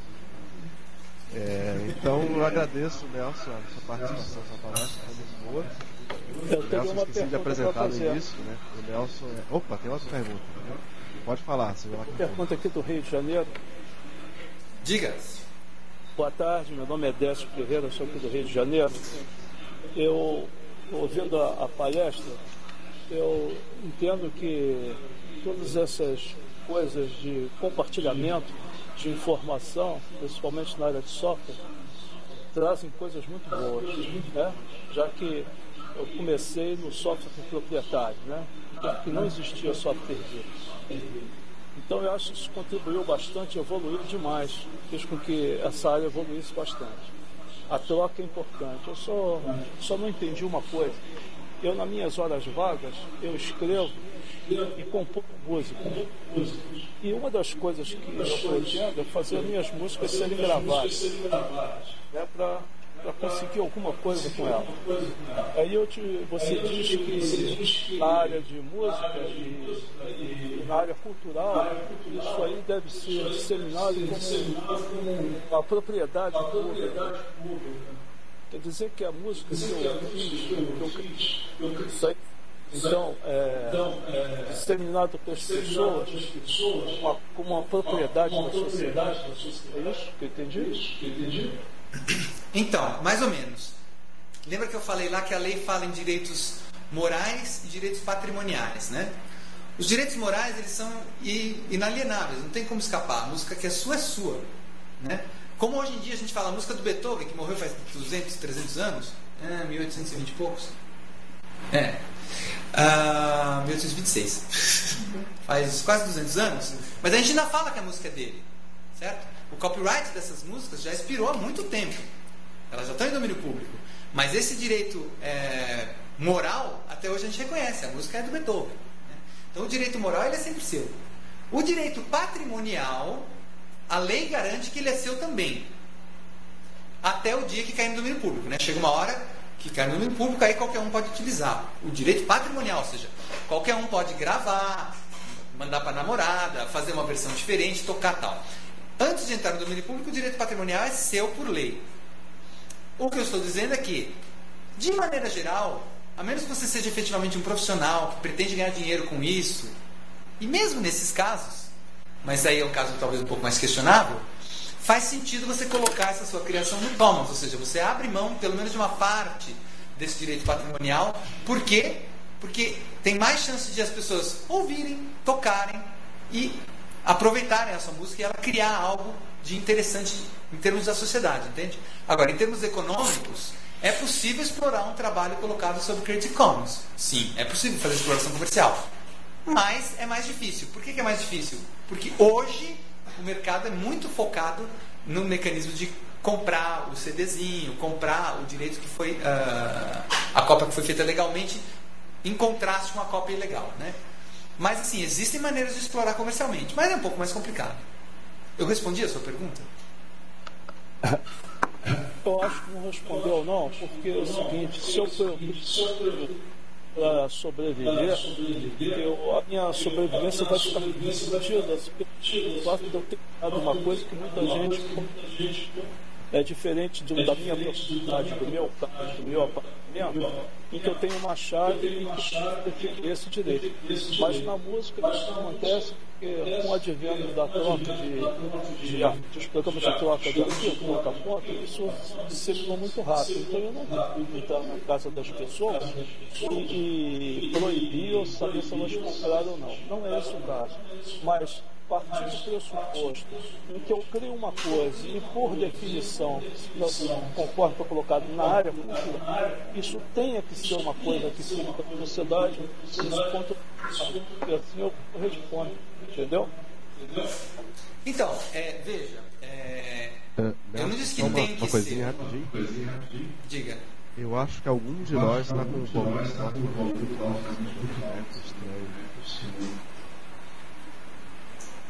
Eu Vou, vou é, é, é abaixo de quem? Alguém te Tá no ajuda? caminho. Valeu, pode continuar. Então, é, eu, veja, eu não disse que tem que ser nada. Aliás, o pessoal dos Creative Commons não disse que tem que ser nada. A lei de copyright está aí e ela é o que vale. Se você, como autor, acha que a lei de copyright tem um peso excessivo para o lado da proteção ao autor, a ideia do Creative Commons é padronizar de uma maneira que todo mundo que tem um ideário parecido possa trabalhar em conjunto, padronizar essas licenças que refletem essa visão. Agora, lembre-se o seguinte, muito importante, eu falei lá no começo que essa ideia de que a sua criação é sua e que você tem algum direito sobre ela, ela nos parece muito natural hoje. Mas ela não é uma ideia muito natural. Ela é uma ideia muito artificial. Ela é uma ideia que surgiu na Europa 400 anos atrás. Não existia e não existe em nenhuma outra cultura que não tenha sido influenciada pela cultura europeia. Então, assim, isso é uma invenção pragmática para resolver um problema. Não é um direito natural. Você não tem esse direito automaticamente porque é óbvio. Não. Você tem esse direito porque a sociedade chegou à conclusão, em determinado momento, que para benefício da sociedade, ela iria criar esse mecanismo de te dar esse direito. Certo? Mas ah, você não tem o direito de viver da sua música porque isso é um direito. Você tem o direito porque alguém virou e falou assim: a gente quer que haja música. Então a gente tem que viabilizar, de alguma maneira, a vida do músico. Agora, isso dito, vou te falar: se você quer ganhar dinheiro gravando música, você vai morrer de fome. Você pode botar a licença se você quiser, a mais restritiva do mundo. Você não vai ganhar dinheiro. Isso é um fato já bem conhecido. Nenhum músico ganha dinheiro vendendo CD. Ganha trocado. Dinheiro não, não dá para viver. Mas nem de longe. Claro, salva a Madonna, certo? Você pega a Madonna, o Metallica, o Caetano Veloso, esses caras, eles têm condições de negociar contratos muito mais favoráveis com as gravadoras. Mas de maneira geral, o artista pequeno, ele aceita o que a gravadora oferece. O que a gravadora oferece é o seguinte: você vai gravar, eu vou pagar os custos de gravação e acabou. Você vai ganhar 50 reais se vender bem. O artista que é músico ganha dinheiro com música, o dinheiro que ele ganha de verdade é fazendo show. Isso é. Você pode dar uma pesquisada. É bem comum. Isso dizer, tudo que é banda pequena vai te dizer isso. Pode ganhar algum dinheiro. Quer dizer, sei lá, o cara lança um CD, ok? E aquele CD é vendido ao longo de um ou dois anos, o cara ganha mil reais de copyright pelo CD. Você vai querer viver com mil reais por ano? Não, né? Então assim, aí a questão é só você julgar. Você vai querer abrir mão desses mil reais em prol de que talvez essa música seja mais tocada porque ela vai para as redes de peer-to-peer sem ser ilegal. Você pode colocar na página ou no seu MySpace e aí vai ter mais gente no seu show? Ou não, você vai preferir manter o copyright. Aí é uma questão pessoal. Eu não estou dizendo que tem que ser nada. Eu estou argumentando que esse modelo do copyright, hoje ele está exagerado demais na proteção ao indivíduo. Isso é um fato. Ele está exagerado demais na proteção do indivíduo. Mas é a lei. Ela, é o direito é seu. Aproveitar o, queria aproveitar o gancho aí da pergunta do Décio, da última pergunta aí. É, primeiro eu queria propor que a gente seguisse adiante. Se houverem mais perguntas, que os interessados mandem direto ou pro e-mail do Nelson ou para a página do CIS, né, Software Livre GovBR. É, e enquanto eu agradeço o Nelson e todo o pessoal do Centro de Competência em Software Livre, que é onde ele trabalha, é um Centro de Competência em Software Livre da USP, que é sempre parceirão nosso e sempre está produzindo coisas muito legais, não só no esquemão acadêmico, mas também em coisas não acadêmicas muito massa. É, e eu queria também pedir desculpa que eu não apresentei o Nelson no início. É, não tinha falado que ele era do CCSL. E já vou entregar também o jogo aí da última pergunta, já entregando que o Nelson também é músico. Então, eu acho que ele é, conhece um pouco do outro lado também dessa última resposta dele. Então, valeu, Nelson, obrigadão. A gente vai passar para. Obrigado pelo convite. Falou.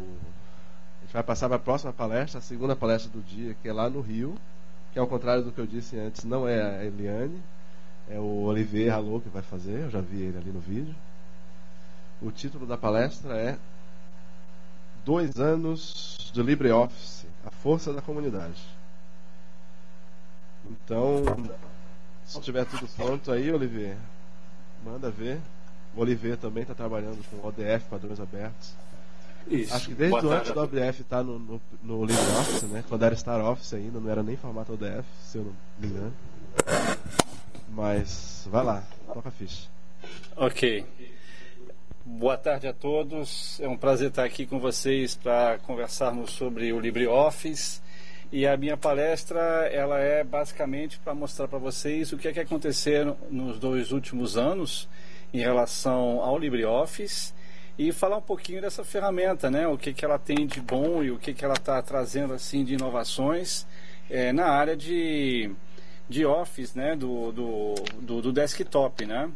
Então, é, é, eu vou falar aqui durante umas, uns 30 minutos, 40 minutos sobre esse, esse assunto e mostrar uma série de novidades que nós estamos trazendo sobre do, do LibreOffice, né? E aí quando eu digo aqui que o meu LibreOffice, né, ou as comunidades no comando, é o meu e o nosso, né? É o nosso LibreOffice, porque ele é criado e ele é executado e ele é desenvolvido por pessoas como vocês, né, como nós, e que é, nós não temos mais é, uma uma grande entidade controlando a nossa vida, ou seja, o LibreOffice é definitivamente o conceito mais aberto e mais livre possível em termos de software uh, livre, né?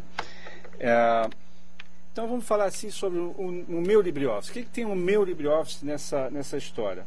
Primeiro, eu queria dizer que meu LibreOffice nasceu em setembro de 2010, de parto normal e para alegrar uma comunidade que vivia à sombra de grandes empresas de software.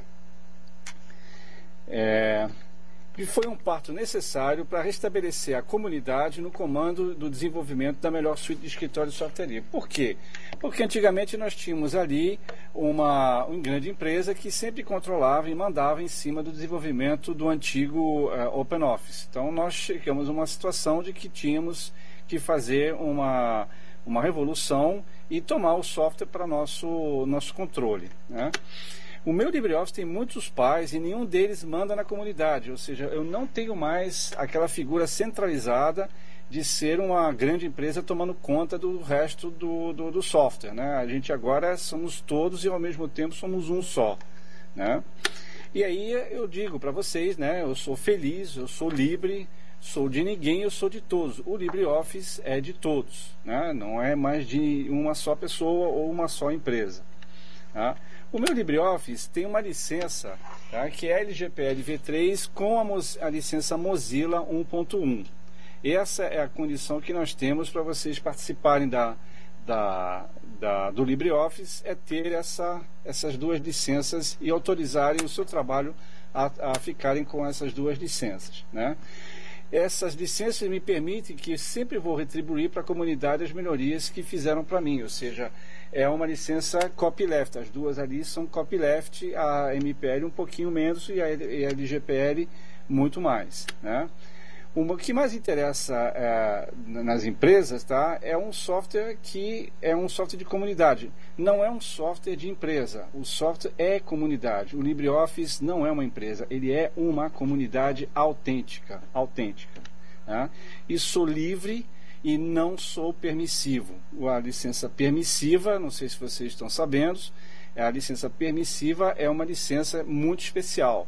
Ela tem certas vantagens, eu vou falar delas aqui. A mais conhecida é a licença Apache. Né?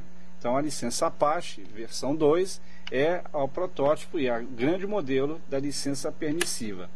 Então, o que, que, são as licenças permissivas? Né? Ser permissivo é ser muito generoso, mas muito generoso mesmo. Né? E por quê? Porque ser permissivo é dar sem ter nada de volta. Quando você tem uma licença permissiva, você está dizendo basicamente que você, qualquer um pode fazer o que quiser com a seu software.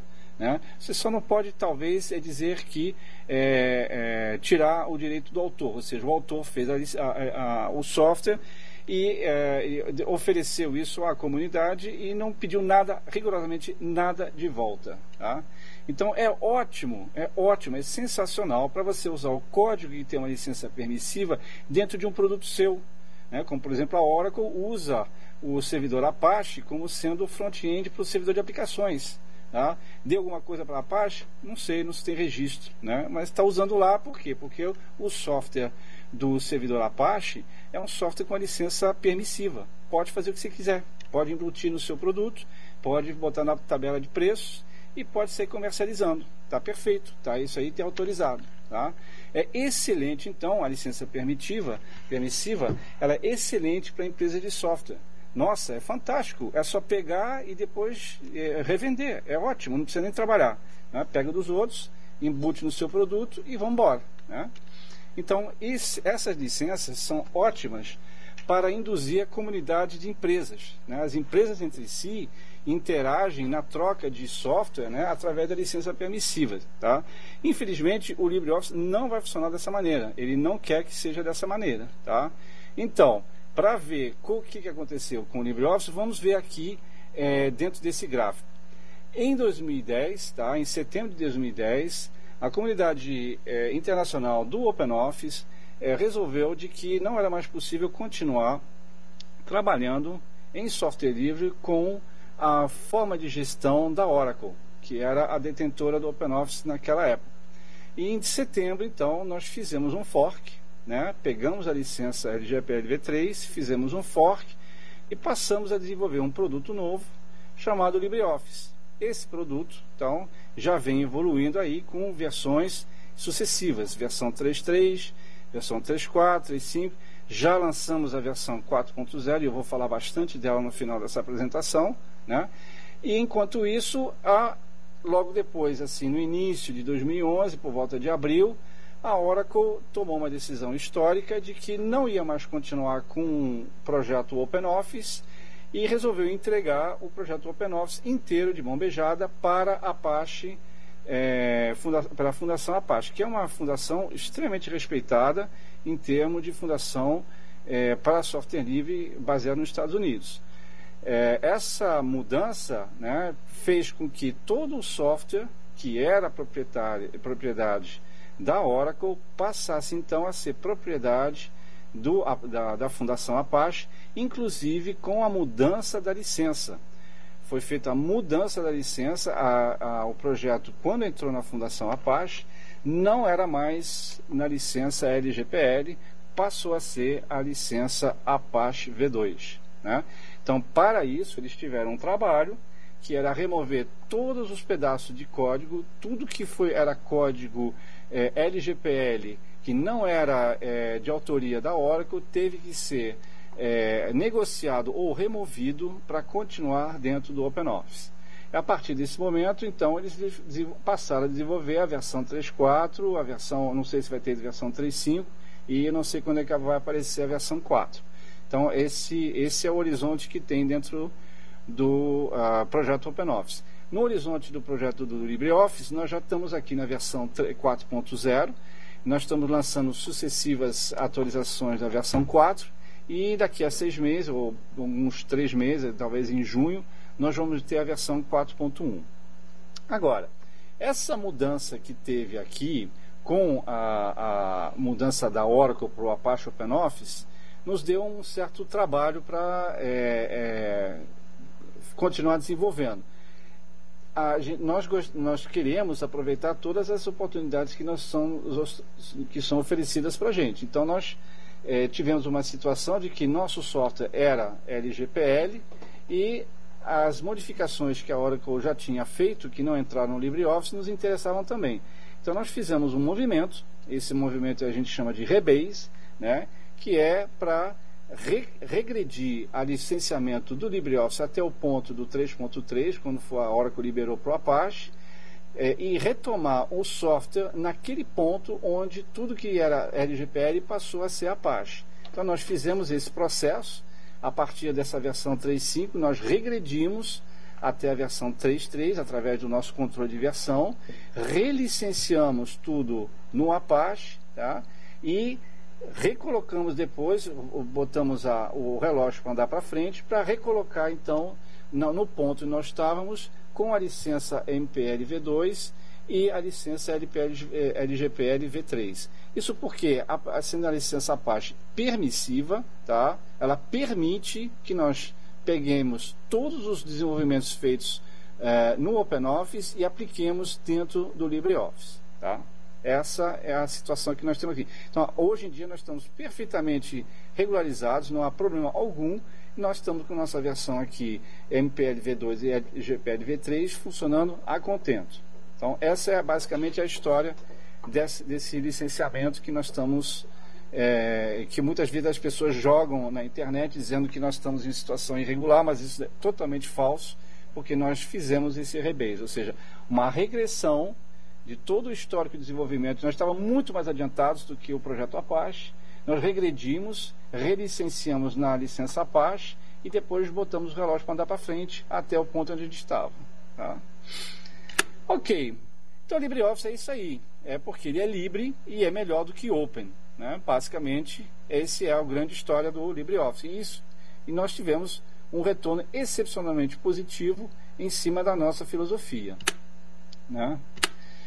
Quais são os princípios? Nós criamos uma fundação chamada Document Foundation, tá? que nos serviu de abrigo legal para podermos trabalhar no software LibreOffice. E aproveitamos então de criar alguns princípios básicos né, para regular, regular as nossas atividades em termos de software livre. Então a Document Foundation tem alguns princípios muito, muito fortes que estão ancorados e nos seus estatutos, né, estatutos que nós criamos na, no momento em que a gente é, é, fundou essa, essa fundação e ela está baseada hoje é, na Alemanha e é regida pela legislação alemã. Tá? A primeira coisa é que nossa licença sempre será copyleft, não vai ser permissiva mesmo. Tá? Não há motivo nenhum para ser uma licença permitiva, permissiva e nosso sucesso em termos de licença copyleft nos fez um, muito animados em continuar com ela, porque nós achamos que ela é definitivamente a melhor para a comunidade. Né? Nós não temos copyrights, né? não, não existe copyright em cima do software LibreOffice. Né? Nós não exigimos nenhuma assinatura de documentos, simplesmente o licenciamento. Né? Nós estamos baseados na meritocracia, ou seja, a gente elimina rapidamente as pessoas que ficam enrolando, né? essas aí não têm sucesso dentro do nosso projeto. E as pessoas que têm realmente coisas para acrescentar, nós valorizamos bastante. Então, ou seja, não existe enrolação, a coisa é sempre é, mostrada pelo mérito da contribuição das pessoas dentro do projeto. Nós temos uma governança comunitária, essa fundação ela tem um conselho, essa fundação tem um conselho de administração, tem um conselho de admissão, tem um conselho de engenharia, tá? e nós temos um conselho de um conselho consultivo feito por empresas que nos aconselham a tomar uma direção de um lado é, esquerdo, direito, em frente, etc. E tal. Essa, esse conselho consultivo tem algumas empresas grandes participando. Temos a Red Hat, temos a SUSE, temos até o Google que tem participado, a Intel tem participado, e elas têm nos dado orientações muito interessantes em termos de como conduzir uh, não só a parte política da nossa fundação, como também a parte eh, do software eh, LibreOffice que está sendo desenvolvido. Né? E, finalmente, nós somos independentes de qualquer eh, fornecedor. Tá? Isso é um, uma característica assim que nós batemos o pé com muita força. Não queremos nenhuma grande empresa mandando naquilo que nós estamos fazendo. Tá? Isso não acontece em outros projetos similares, tá? Isso tem né, nos outros projetos. Existem empresas que continuam mandando, tá? seja pelo poder econômico, seja pela, pelo controle de certos a, aspectos do, do, desenvolvimento do software, e nós não queremos isso aí. Então, nós temos uma independência completa é, do, da, do, de fornecedores que eles não mandam naquilo que a comunidade está fazendo. Né? Então, para dar uma ideia disso aí, tá? Ninguém, ninguém controla mais do que 30% dos votos no conselho da Document Foundation. Se houver mais de 30%, essa a pessoa não vai entrar no conselho, não será eleita, ou então ela terá que se desfiliar da empresa onde ela está trabalhando, trabalhando, porque não vai haver esse caso aqui. Então, isso nos permite ter é, uma decisão de colegiado muito mais homogênea do que hoje em dia, quando você tem é, empresas que é, praticamente dominam 70%, 80% do conselho. Aí você simplesmente fica lá só de figurante, porque isso vai ser voto vencido sempre. Né? Então isso é muito importante também. A outra coisa que nós é, definimos claramente tá, é mudar né, desse modelo que a gente chama de modelo do, do guarda-chuva, né, ou seja, uma grande empresa que vai tomar conta de todos aqueles desenvolvedores e da comunidade, para uma, uma é, é, cultura né, que seria mais de uma bacia, né, onde essa bacia sustenta todos os desenvolvedores né, é, de uma forma homogênea, tá, de uma forma de, de mistura. Então, essa, perdão, essa mudança é fundamental no entendimento do que é hoje em dia o LibreOffice e a Document Foundation. Tá?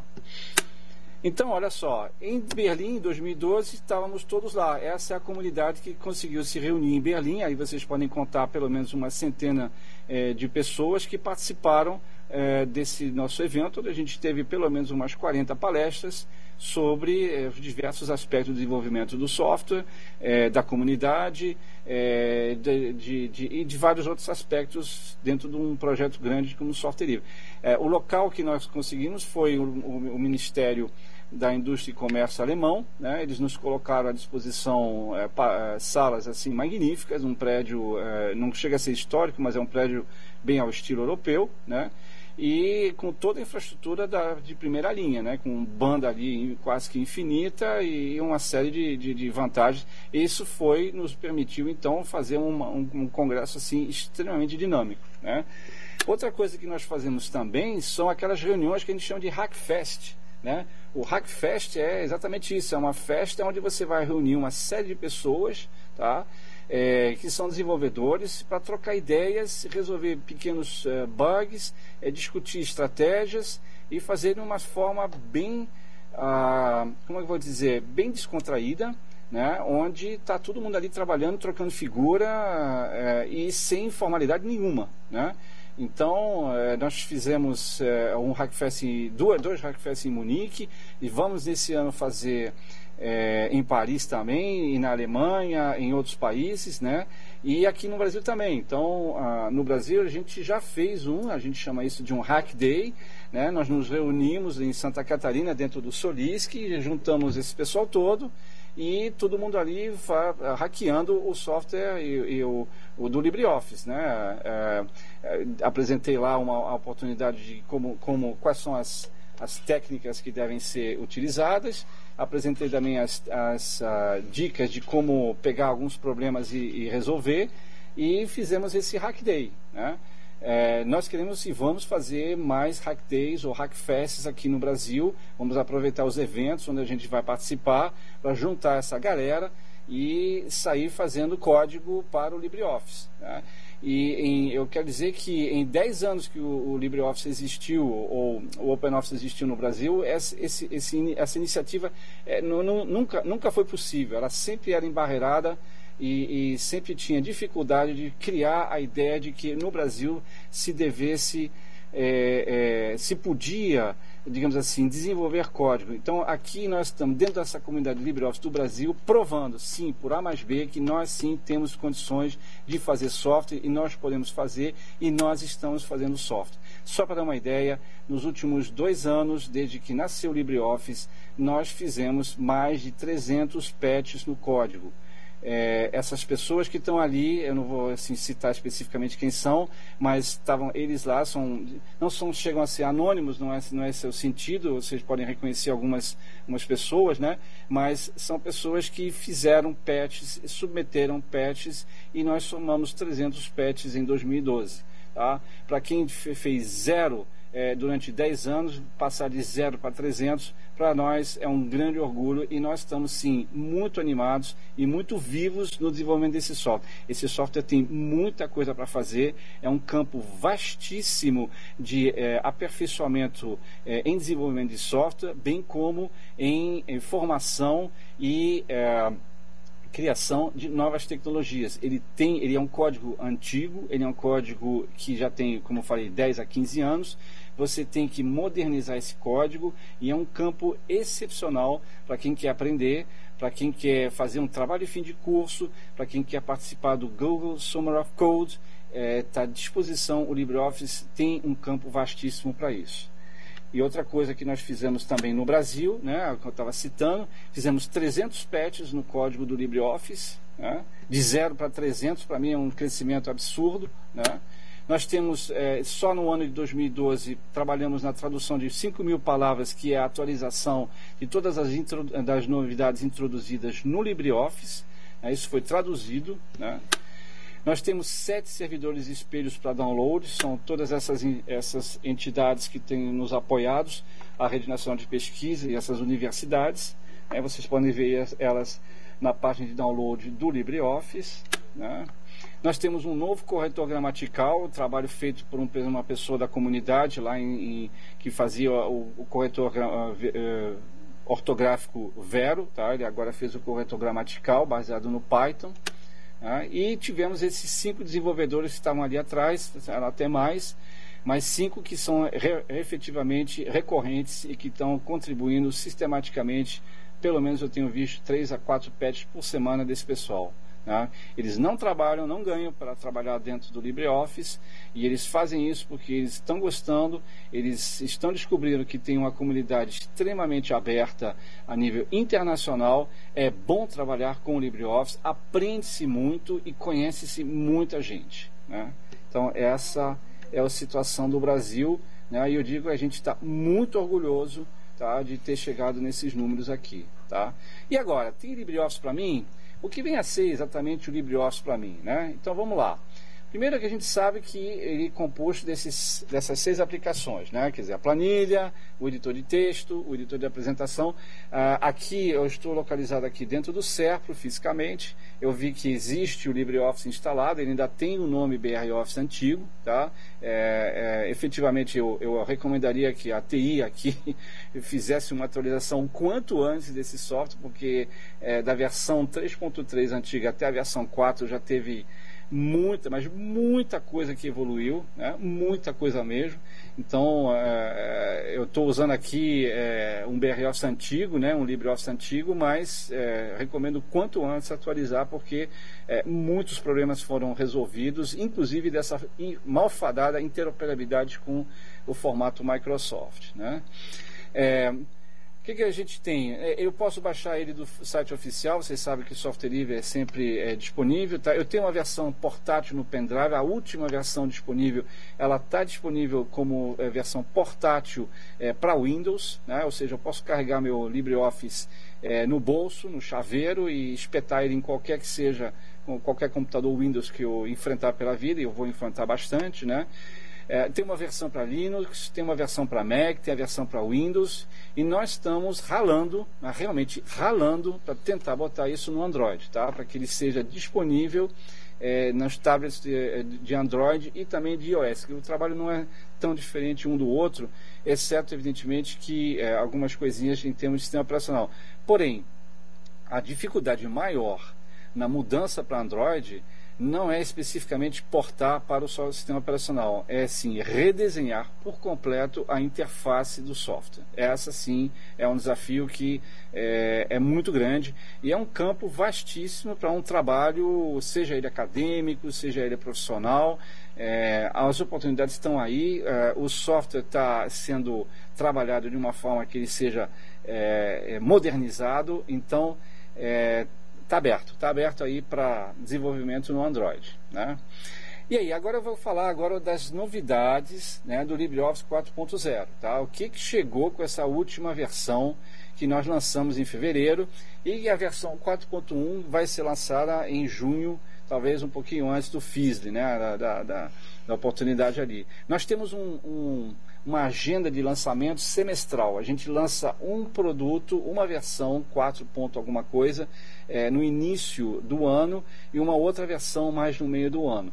E, e, essa, essa evolução, inclusive, ela é, de, uma, de um lado, extremamente positiva, porque mostra a nossa vitalidade tecnológica. Nós estamos realmente muito, muito é, ansiosos de, de implantar inovações e, e melhorias mas também, por outro lado, incomoda muito aquela tradicional TI que precisa ter um produto que, ah, eu detesto atualizações, eu não gosto de atualização, eu prefiro saber meu produto ruim e velho que eu conheço do que um novo que eu não conheço.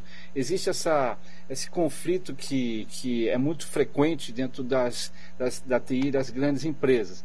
Claro, é, tudo tem solução. É, não é porque você está é, dentro de uma empresa que você precisa ficar com um software velho. Você realmente pode ter um software moderno, basta simplesmente é, ter o apoio e a, e a consultoria necessária para você é, disponibilizar isso aí. Tá? Então, quais são as novidades? Primeiro, nós estamos lendo, né? Nós somos o canivete suíço dos formatos. Agora a gente está lendo tudo quanto é formato proprietário possível, tá? A gente está lendo não só bom, o aberto, ODF, né, 1.2 e as, as, extensões do 1.2, esse infeliz do XLSX, DocX PPTX, né, é, além do DocXLS PPT, que é histórico, né, nós agora estamos lendo arquivos do CorelDRAW, ou seja, não precisa mais comprar Corel, tá? Esquece, tá? Você vai ler o CorelDRAW por inteiro, né?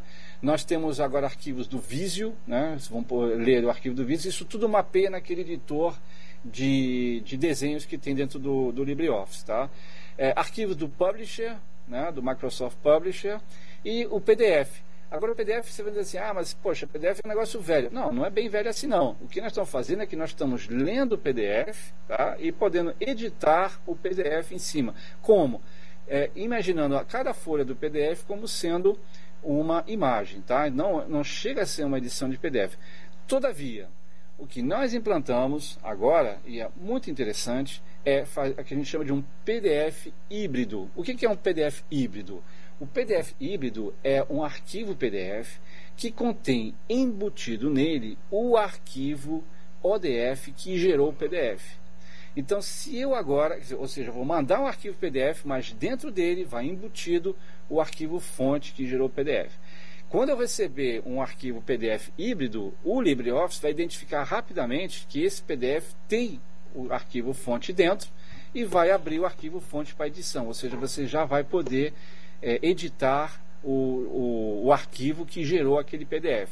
Se você quiser gerar um novo PDF, basta exportar para uh, o seu arquivo uh, embutido para um novo PDF, ele será uh, refrescado. Tá? Então, essa é o conceito, esse é o conceito do, do, do, PDF híbrido. Tá? Então, nós, para resumir esse slide, né, nós somos aquele canivete suíço para resolver tudo. Viramos um MacGyver aqui, manda qualquer formato de arquivo, a gente dá um jeito de ler. Né? Ok? Outra coisa que a gente tem de novidade no 4.0, tá? Isso interessa muitas empresas que têm GED, né? Que tem sistema de gestão de, de eletrônico de documentos. Nós temos agora, através do protocolo aberto CEMIS, tá? Esse protocolo é um protocolo desenvolvido é, e homologado pela Oasis, né? Que é a mesma que fez o ODF, e ele é seguido por uma série de empresas, tá? É, em, em, particular, a, as soluções aqui ao lado, tá? Alfresco, o IBM FileNet P8, o Microsoft SharePoint, o Nuxe, o OpenText, é, o SAP New Weaver, todos eles obedecem ao protocolo CMIS e nós temos então a possibilidade de abrir arquivos diretamente nesses gestores de, de, de documentos. Né? Ou seja, na caixa de abertura de arquivo do meu LibreOffice, eu vou ter ali domínios, né, ou realms, né, que, que serão os lugares onde eu vou poder acessar meus documentos é, do meu GED. E aí eu vou fazer o checkout e o check-in dos arquivos, isso terá, será registrado dentro do sistema GED é, que você tem. Então, essa, essa é uma novidade que pouca gente está divulgando e aproveitando então essa, essa oportunidade aqui dentro do SERPRO né, para divulgar é, o fato de que nós estamos nos tornando extremamente é, poderosos no meio corporativo também. Tá? Isso poderia, deve, deveria ser aproveitado é, pelas empresas que utilizam e que vão implantar o LibreOffice. Outra coisa que nós temos também, nós implementamos essa chamada formatação condicional na planilha. São outras variantes possíveis, tá? A variante de, de gradação de cores, de uma variante de gradação de, eh, né, de cores dentro da célula ou através de símbolos né, que você então ilustra na planilha é, graficamente, visualmente, o valor numérico que consta, que consta dentro da célula. Tá? Isso também, outra coisa, é compatível tá, com o, o Excel mais recente, 2007 e 2013. Né? Então, essas, essa feature exporta para o Excel também. Né? Nós implantamos, né, isso aí é, é um uma, não, não, não vou dizer que seja uma brincadeira, né, mas é uma coisa que para nós era importante, né, era o, o, Personas, né, o Firefox, né, o, o, navegador, ele tem essa possibilidade de você decorar o, o decorar a, a moldura, né, do, da, da janela do, do Firefox é, através de um gráfico que você desenha, né, que você ou baixa do site do Personas, né, e nós implementamos isso também dentro do LibreOffice, tá? é uma forma adicional da gente personalizar ou personificar o software é, da, da, pessoa. A gente percebe claramente que as pessoas gostam de, de personificar seu desktop, o seu plano de fundo, é, às vezes o seu próprio persona do, do, do, do, do Firefox, e a gente então implantou a ideia e a gente usa os personas do Firefox, é, é, é, é a gente usa os mesmos né, dentro do LibreOffice. É, são mais de 35 mil pessoas no site do Firefox, da Mozilla, né? Você pode baixar qualquer um ele vai funcionar aqui. Claro, dependendo aí do grau e do contraste da imagem, né? Aí tem gosto para tudo. Então, eu estou dando aqui um exemplo, né? De que a gente está é, colocando é, é, uma, uma, um persona aqui, um tema do Firefox que é, é que lembra a Rio 2016, né? Então, o tema do Firefox, né? É, agora a gente tem comentários que são colocados em trechos do texto, do texto né? isso também a, ah, melhora a compatibilidade com, com o mundo Microsoft, que já tinha essa, esse recurso. Né? E nós temos também uma atualização importante no corretor gramatical e ortográfico que a gente, é, Vero, né? que é feito lá pelo pessoal de Alagoas. Né? A gente teve a atualização de palavras a gente teve uma correção gramatical ampla, né? são regras que foram colocadas dentro do verificador gramatical, onde a gente aborda concordâncias, numerais, artigos, crase, pronome, pontuação, erros mais comuns. E implantamos também, isso foi o Raimundo que colocou, é uma correção de pleonasmos. Né? Como, por exemplo, você encontrar no texto a, a, a palavra fatos reais, né? Fato que não é real, não sei se é fato, né? Então tem que se pensar aqui. Isso é muito comum a gente dizer, ver assim, essa história é baseada em fatos reais. Não, é baseada em fatos. Tá? O reais é, é, é, inútil, né? Superávit positivo, não conheço superávit negativo, né? Criar um novo qualquer coisa, né? É outro pleonasmo. Grande maioria terceiro. Erário público. Erário que não for público, me avisam de que tiver, porque erário é sempre público, né? Então essas correções elas estão aparecendo. E outra coisa que vai acontecer também é que tinha um, o arquivo de autocorreção dentro do LibreOffice, ele vai agora diminuir bastante de tamanho, porque vai eliminar essas redundâncias que serão flagradas pelo corretor gramatical. Né? Então, esse é mais um, um, trabalho aí feito pelo pessoal do Raimundo Souza, tá? Raimundo Moura, perdão, é, lá em Alagoas. Né? Nós temos um novo gestor de modelos de documentos, né, onde os modelos serão agora apresentados visualmente. Né? É uma novidade, isso aí é um trabalho feito por um aluno é, é, dentro do Google Summer of Code. Né? O rapaz trabalhou ali três meses né? e nos entregou praticamente 90% pronto e depois foi só integrar. Né? E ganhamos também tá, um controle remoto tá, da nossa apresentação feita através do seu telefone celular Android. Tá? Então você pode controlar agora a sua apresentação do Impress através do seu telefone celular. Baixa, basta baixar é, lá da loja do Google, né, o Google Play. É, esse software aqui chama-se LibreOffice Impress Remote. Você baixa, ele é gratuito, instala, ele é pequeno, é uma, acho que no máximo um megabyte, e faz uma conexão via Bluetooth com o seu computador, seu notebook, e passa então a ver a apresentação todinha dentro do seu celular. Você não precisa agora ficar colado no seu notebook fazendo a apresentação. Tá? Então você pode passar para frente, para trás e controlar a sua apresentação com o seu celular. Né? É, soube aí de interesse de algumas pessoas né, desenvolver isso para BlackBerry e algumas pessoas também interessadas no iOS, né, ou seja, para o mundo Apple. Tá? Então, agora, qual é a minha comunidade LibreOffice? O que, que nós temos aqui para ajudar vocês dentro dessa comunidade? E por que, que ela é muito vibrante? Né? Então, nós temos um portal, tá, que é o nosso portal do LibreOffice, é, onde a gente tem uma série de informações importantes. Né? Essa é a nossa página de chegada e já dá uma distribuição para o que, que nós é, que tipo de informação você vai precisar, se é para baixar o LibreOffice, se é para baixar o manual dele, se é para fa falar sobre a, a, revista LibreOffice Magazine, né, etc. Então a gente já chega aqui com essa, esse layout inicial. Não é um layout ainda profissional, a gente sabe disso, porque é feito por voluntários e a gente está tentando ser o mais é, abrangente possível e nós temos um menu lá em cima que tem muito mais detalhes que aí exige uma leitura um pouquinho mais detalhada do que está chegando. Né? Nós temos uh, uh, o LibreOffice Magazine, que é a nossa amiga aí, Eliane, que está gerenciando de uma forma quase que heróica esse magazine. Né? É, ele é bimensal, ele trata não só dos assuntos relacionados com LibreOffice, mas também dos assuntos relacionados ao software livre em geral, dados abertos. E nós estamos então nessa nossa terceira edição, e partindo já para a quarta e tem, nós temos tido um excelente retorno em termos de, de reconhecimento pelo trabalho. E aí palmas aí para Eliane que é fantástica nesse trabalho de, de criar essa revista né? então LibreOffice Magazine. Criamos então um fórum de perguntas e respostas. Esse é um site especializado tá, para perguntas e respostas né? É, é, não se trata de um fórum de debate ou de discussão de blá blá blá. É colocar uma pergunta de uma dúvida e, e, e escrever uma resposta adequada à dúvida. Né? E, o site é todo ele orientado para que a gente possa criar ali uma base de conhecimento tá, em cima do LibreOffice. Né?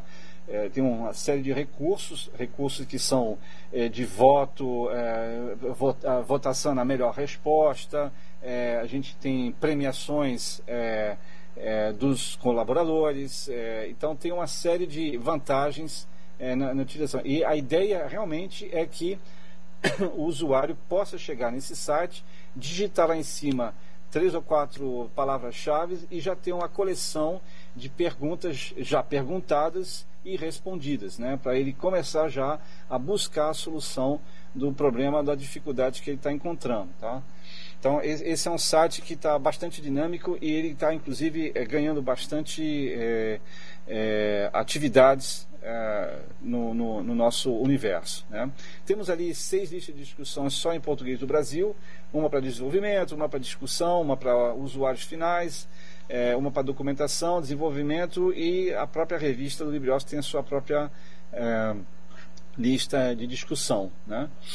Nós temos também um wiki, esse wiki é um wiki internacional, ele tem, a gente tem uma estrutura para poder organizar as páginas em português do Brasil, então muitas vezes a gente tem páginas que são colocadas em inglês e a gente traduz aos pouquinhos para o português, se elas são relevantes. Outras páginas não são tão relevantes assim, elas podem ficar em inglês, mas a ideia é ter é, documentação é, preparada dentro do é, wiki da Document Foundation, com a divisão e com o ramo é, do português do Brasil. Nós temos também o, o, sistema de revisão de código Gerrit, tá? que é um software livre desenvolvido na, pelo Google, né? e ele foi implantado dentro do LibreOffice. Tudo quanto é patch que a gente manda, ou seja, as correções no código, elas entram nesse site e elas são analisadas por um desenvolvedor sênior que vai homologar a solução ou não, e quando for homologar, ele vai inserir dentro do desenvolvimento do software. Né? Ele pode criticar, você pode é, pegar o seu próprio patch e, e, fazer um outro por cima dele, corrigindo alguma coisa que você deixou passar. Então é um sistema extremamente dinâmico e, e facilita muito o trabalho do desenvolvedor de código. Né? Nós temos usado isso extensivamente e tem sido um sucesso em termos de. É, facilidade para o desenvolvedor é, amador e profissional. Né? Nós temos o Bugzilla, né, que é conhecido de todos aqueles que desenvolvem software livre, né, o Bugzilla, não precisamos muito é, perder tempo aqui, né? Mas temos ali uma coleção razoável de bugs, que para nós é muito significativo, não gostamos disso. A gente gosta de bugs no sentido que a gente gosta que as pessoas nos digam onde estão os problemas. Né? E aí nós temos uma, um time de controle de qualidade que vai reler esses bugs e verificar e homologá-los como sendo válidos para que sejam então encaminhados para desenvolvimento e correção. Né? Nós temos uma coleção de pelo menos umas 17 ou 20 é, chamada Tinderbox, são computadores que estão conectados na internet, né? E eles sistematicamente só fazem uma coisa na vida, é compilar, compilar, compilar, compilar. Então, eles terminam uma compilação, eles buscam no repositório de código as inovações, baixam e reinicia a compilação. E aí eles indicam se a compilação está com problemas ou não, e aí a gente então sabe que a versão Linux para o Red Hat está com problema, a versão Windows está é, com problema ou não, e aí parte para a correção de cada uma dessas versões assim. Ah, o Tinderbox ele vai dizer, olha, é, baixei esses últimos 10 patches e deu problema, então o teu problema está nesses últimos 10 patches, por favor corrigir essa sua, essa sua modificação. Né? É isso aí, gente. Então não quero me estender muito mais nós achamos que o LibreOffice é definitivamente um sucesso, tá? é um sucesso a nível mundial, é um sucesso a nível Brasil. É, nós estamos muito, mas muito orgulhosos de termos já uma equipe que está fazendo patches e desenvolvimento do LibreOffice no Brasil.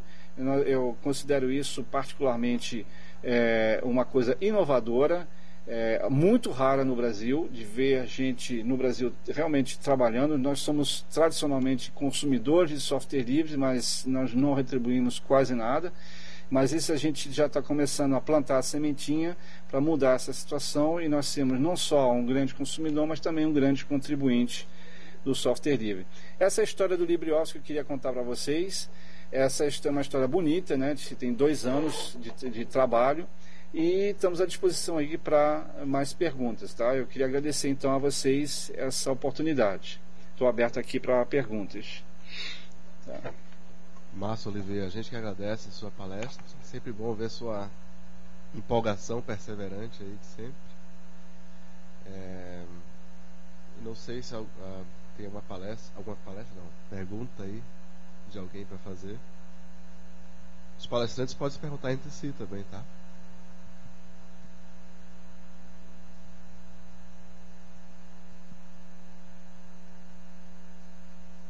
Tá. Enquanto não chega alguma pergunta, eu queria só comentar rapidinho na, no comentário que tu fez do, do BR Office, que está nessa estação aí.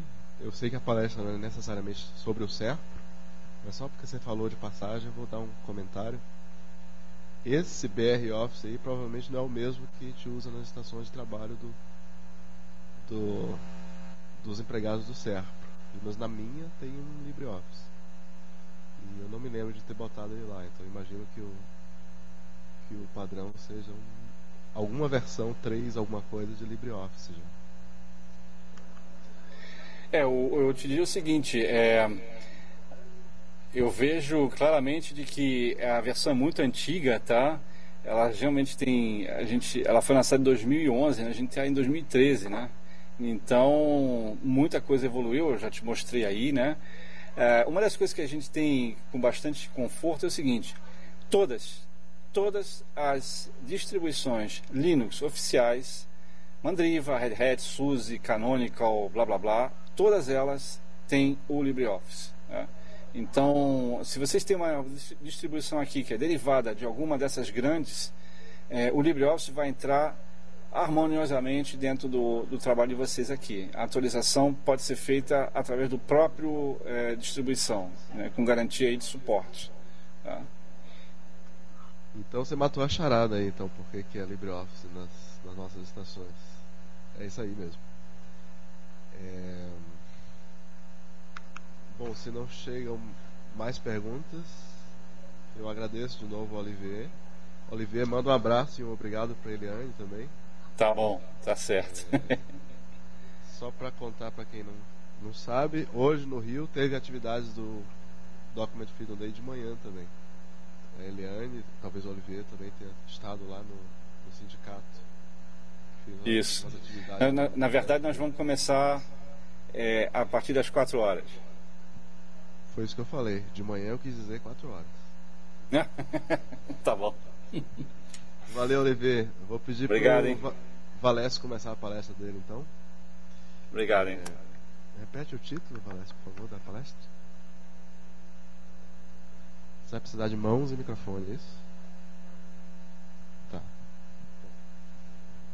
Olá, É, boa tarde, quem está nos acompanhando aí pelo stream e aqui. É, meu nome é Valécio Brito, eu trabalho com software livre desde 2001 profissionalmente. É, trabalho com aplicativos gráficos, mais especificamente produzindo material gráfico para ser impresso ou então para web. E o conteúdo dessa. é, o slide vai. Enfim.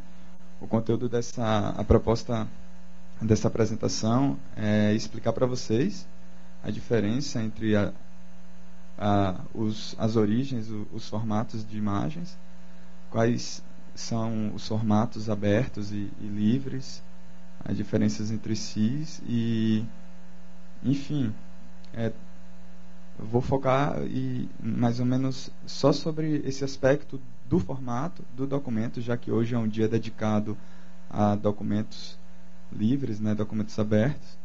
E no final vou sugerir alguns softwares é, que são softwares livres, quais podem ser utilizados para editar e, e manipular esses documentos. Ok.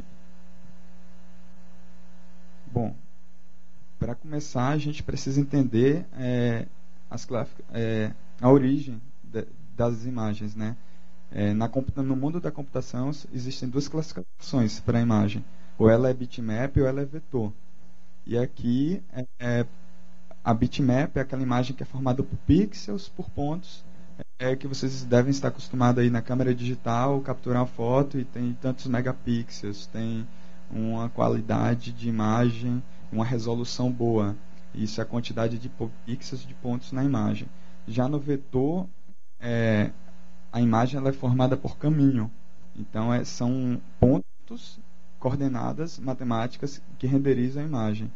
É, na prática, é, um vetor ele pode ser, é, na medida que a gente dá zoom ou reutiliza ele em outras dimensões para impressão, o software calcula ele e renderiza novamente. Então, nunca há perda de qualidade. Já no bitmap existe um limite, que é o, o DPI, a, a, quantos pontos existem naquela imagem. Aqui, por exemplo, eu tenho uma casinha, que é em bitmap, então eu vou dar um zoom. Em algum momento, você começa a perceber que a imagem perde o foco e, enfim, ela deixa de ser uma imagem de qualidade.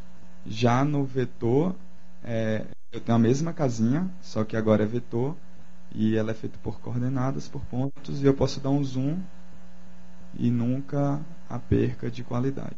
Essa é a principal diferença entre vetor e bitmap. Esse slide, por exemplo, ele é vetor. Então a gente vai ter sempre essa possibilidade aí de, de um zoom. Enfim, para vetor, os formatos é, existentes de arquivo, eu estou falando em arquivo original, formato original, é, o WMF, que é, foi um dos primeiros formatos com os quais eu tive contato, que é um formato proprietário da Microsoft, significa Windows Metafile, é, o SVG, que é um formato aberto, um padrão é, reconhecido pela W3C, e significa Scalable Vector Graphics, né? O XPS, que é uma especificação da Microsoft, que até dois, creio que até 2007 foi assim era um formato fechado e agora é denominado OpenXPS. Eles abriram, né, uma demarcação XML também para vetor. É, VML é uma outra linguagem, enfim. O X3D também é uma linguagem de marcação para arquivo vetor para elementos tridimensionais. E existem é uma série de outros formatos. É, o CG, é, enfim, o CGM, enfim. Existem muitos mesmo, é, cada um com sua especificidade. Por exemplo, C, esse CGM, ele é, foi desenvolvido para web, mas é, ele é mais voltado para textos. Então, é para é, marcação, é uma linguagem de marcação para renderizar texto na web. O SVG já suporta isso. Já para imagem, bitmap, você pergunta, pode.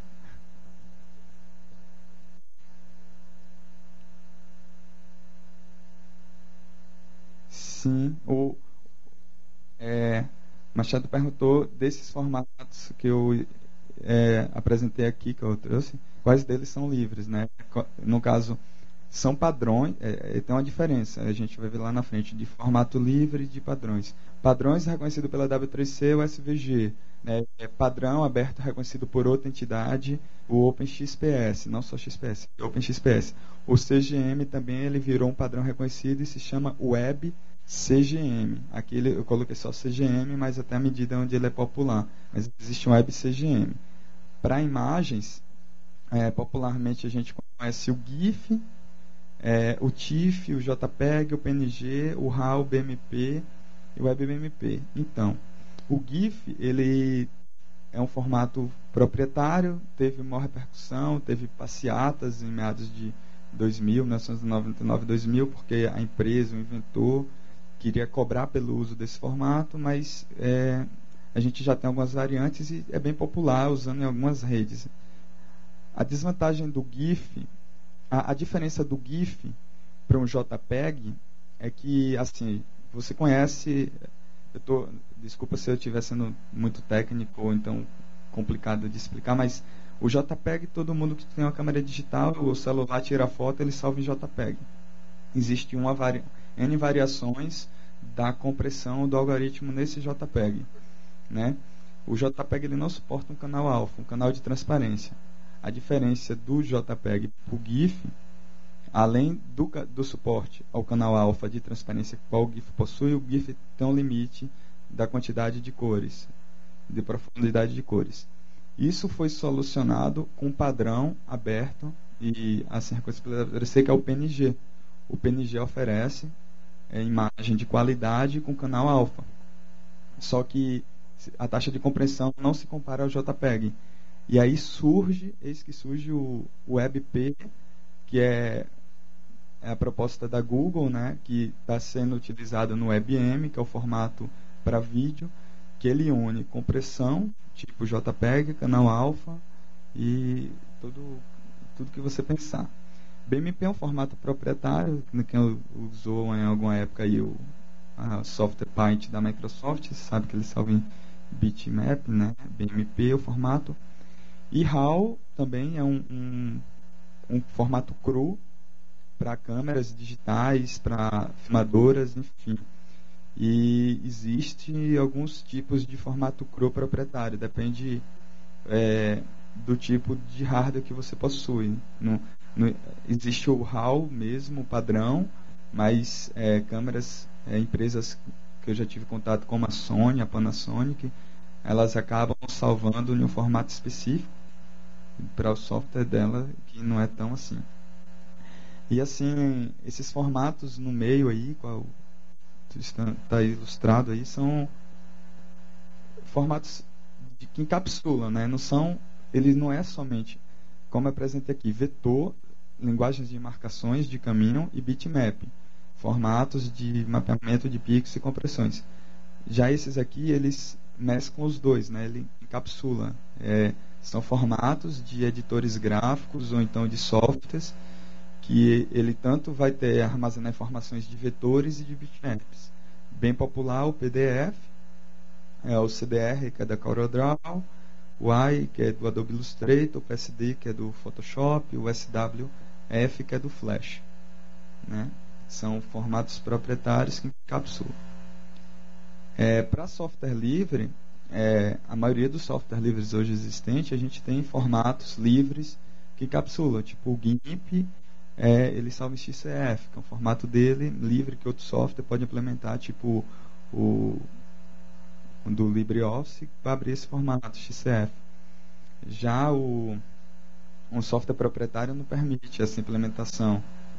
Enfim, é, o PDF, existe variantes do PDF, né, é, que são livres, é, existe PDF, no caso Adobe detém algumas tecnologias ainda patenteadas, mas existe a variante PDF barra X barra A, que são variantes do PDF livre. E aí você consegue também ter um arquivo que encapsula todos os outros formatos separados.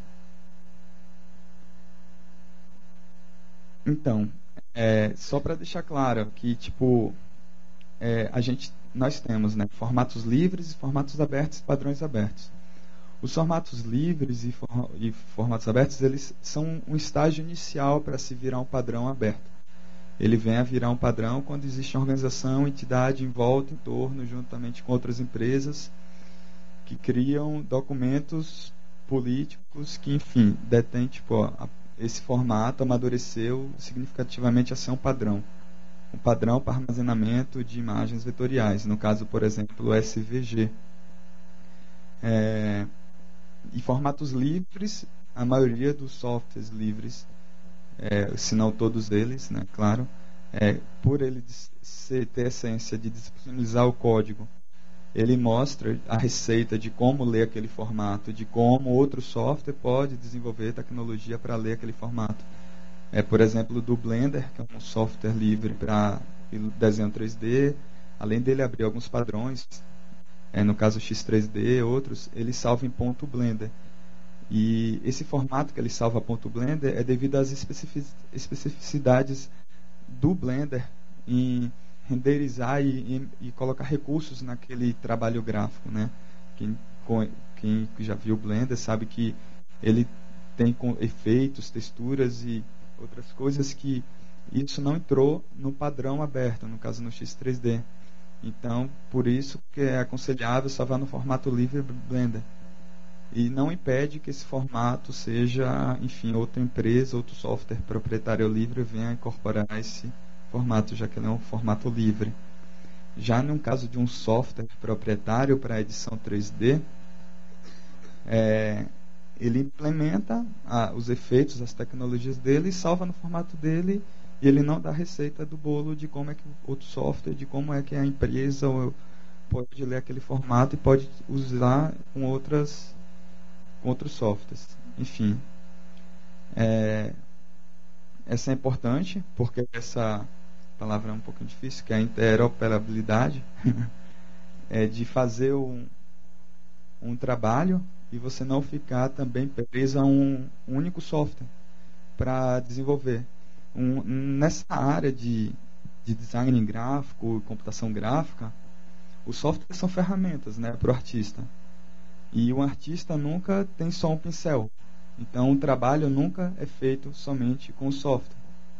Ele precisa trabalhar inicialmente em um, depois abrir em outro e fazer uma outra técnica em outro software e fazer os, o trabalho, conversar entre diversos softwares é, é uma coisa que o software livre, os padrões abertos propõem muito bem. Já quem está acostumado em trabalhar em agência, né, já tive contato, minha formação é na área de comunicação social com habilitação e publicidade, as agências elas gastam muito com licenças de software de suítes. Então ela não compra um software da Adobe, ela compra a suíte da Adobe que vai custar centenas de mil reais, porque cada um é para fazer uma coisa. Ela compra a suíte da Corel, e vem a Corel isso, Corel 3, Corel aquilo, é a mesma coisa. Então essas empresas elas oferecem ferramentas para os artistas e cada ferramenta é, o, o trabalho iniciando em uma ferramenta fechada para dar continuidade e desenvolver outras técnicas vai precisar de outras licenças e outras ferramentas fechadas. É, os padrões abertos e os formatos livres também têm uma coisa muito legal que são os metadados. É, eu falo com propriedade do SVG que eu posso construir elementos dentro do meu trabalho gráfico e marcar determinados elementos com tags, informações, que se eu necessitar de um outro trabalho, eu não preciso incorporar, é, eu, eu posso linkar um trabalho e outro, não necessariamente eu preciso linkar todo o arquivo, eu posso linkar um detalhe dentro do arquivo, tá, a logo que está lá, se chama essa. Isso também é muito utilizado e feito com LibreOffice com planilhas, né? que você pode criar uma planilha, uma planilha um formulário e linkar ó, na outra planilha, na coluna tal, na célula tal, tem esses dados. Isso é para a área de desenvolvimento de arte digital, arte gráfica, quem está em produção de animação, é muito bom, porque você faz os, é, os elementos de um filme, de uma animação 2D separado. Você faz os personagens separados e em um outro arquivo, em um outro software, você monta a paisagem e linka esses elementos. E essas grandes produtoras, assim, tipo é, Pixar, enfim, é, DreamWorks e as pequenas também que está começando, muitas delas utilizam padrões, é, formatos abertos, livres, é, para poder trabalhar um grande grupo em um único contexto. E para ficar mais claro, eu trouxe aqui um, um, recorte de um trabalho do João Silva, né? um infográfico. E, obrigado, bem lembrado. E fiz uma adaptação que ele apresenta as pirâmides. No caso aqui à esquerda temos a pirâmide da adoção de formatos proprietários, que assim em sua base é o hardware, né, a arquitetura. O, no caso da já que a gente está trabalhando com formato proprietário, por exemplo, DOC ou XLS, obrigatoriamente a gente precisa do software, que é aquele Microsoft, que obrigatoriamente vai precisar do sistema operacional e que o sistema, o sistema operacional vai impor que você tem que ter um PC. Já com formato, com padrão livre, ele flexibiliza isso. É, eu posso ter um, uma arquitetura, um hardware que é um celular, um sistema operacional que é um Android ou qualquer um outro, um software que é um navegador e um padrão aberto que, por exemplo, seria esse slide, né? Esse slide é feito em SVG e ele abre no, no celular, ele abre no desktop, abre no PC, enfim, por ser um padrão. É, aqui no caso do Jomar, ele exemplificou com os formatos da ODF, os padrões da ODF, que são linguagens também de marcação e são arquivos que fazem encapsulamento, alguns deles. É, na prática, essa ponte da pirâmide. Você tem aqui os, um SVG, um, um JPEG, uma imagem, tudo isso dentro de um documento XML que dentro dos padrões de especificação. Reconhecido como ODF isso pode ser um ODT, um ODP, que é um arquivo de apresentação, uma planilha de texto, enfim. É, isso eu estou exemplificando um, uma, um formato de um software específico, que seria no caso o LibreOffice, mas é, não existe amarração alguma sobre eu precisar do LibreOffice para trabalhar sobre esses arquivos, já que eles são arquivos que estão especificados. É, outros softwares, por exemplo, o SVG tem o Inkscape, é, o SMIL, o Synth, que é de animação 2D, é, uma, é um suporte para o SVG, enfim. Outros softwares conseguem ler esses formatos, esses arquivos, pela independência. E uma das principais vantagens é, enfim, como podemos identificar, uma das principais vantagens é que o processo de desenvolvimento desses formatos é aberto, é participativo. Então, não é uma pessoa, não é uma empresa que chega ali e diz como é que vai ser a especificação desse formato. É, é uma participação em grupo.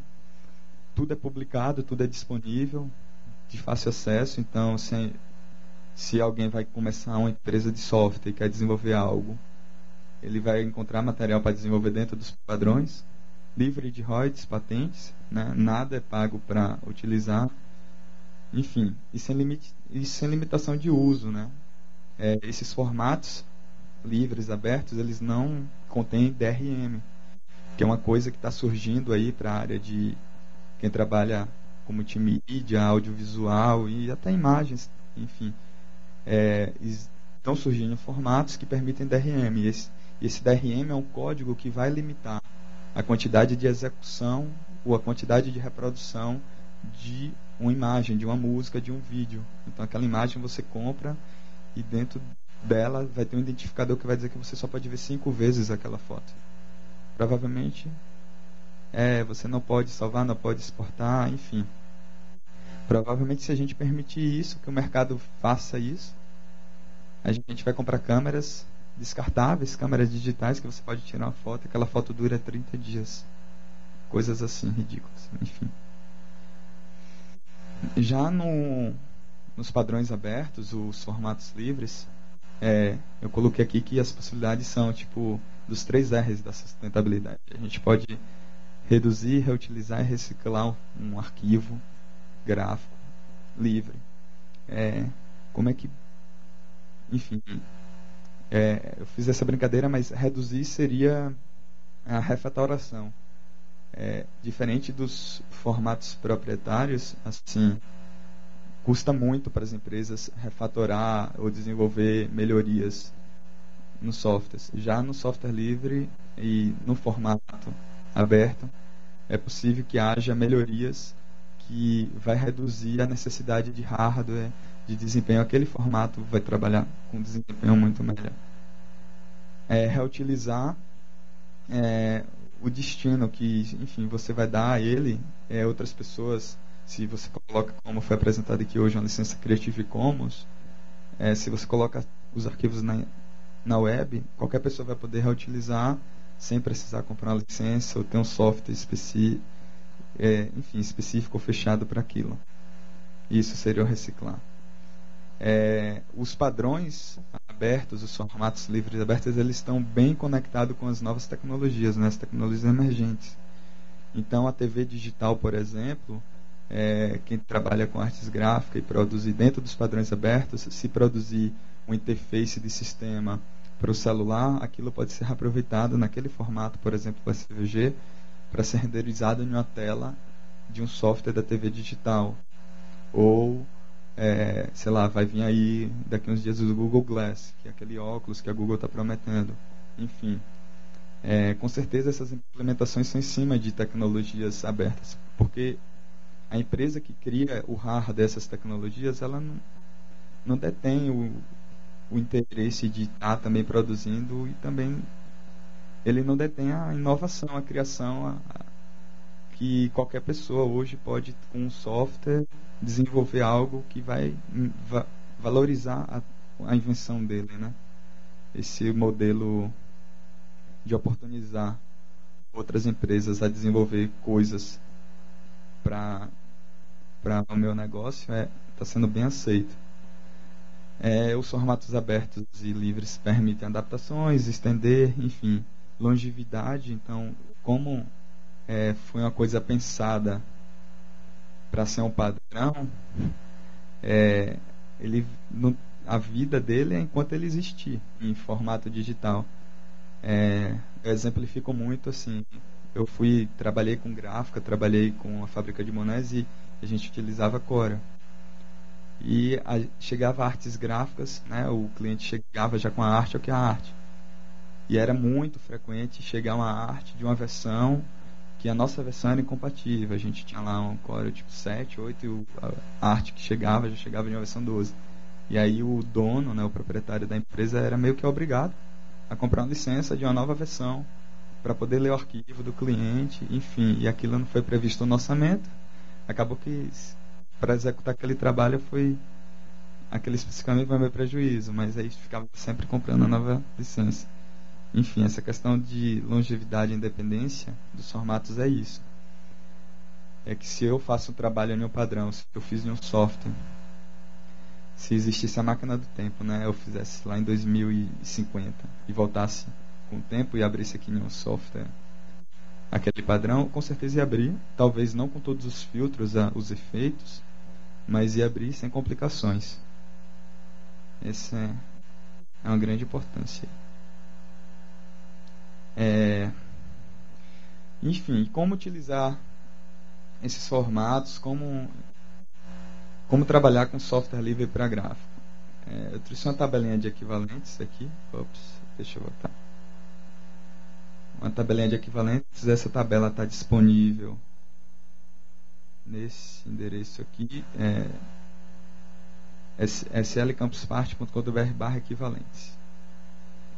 E essa tabelinha apresenta as soluções existentes hoje no mercado para a plataforma Windows em proprietário uma relação de soluções livres. É, os formatos livres, os formatos abertos, algum, alguns, algumas suítes já estão implementando. É, eu não tenho muito contato com esse mundo proprietário já faz uns 10 anos. Mas, me recorde, o Adobe ela já está abandonando o Flash, por exemplo, e implementando o suporte SVG nas suas aplicações.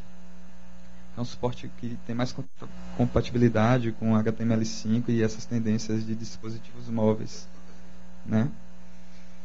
E com certeza você vai achar softwares de qualidade para formatos abertos sendo software livre. Então você vai achar GIMP, suítes como LibreOffice, Calligris, Scribus para diagramação, enfim, já para a plataforma proprietária, eu não, não tenho indicações, não tenho.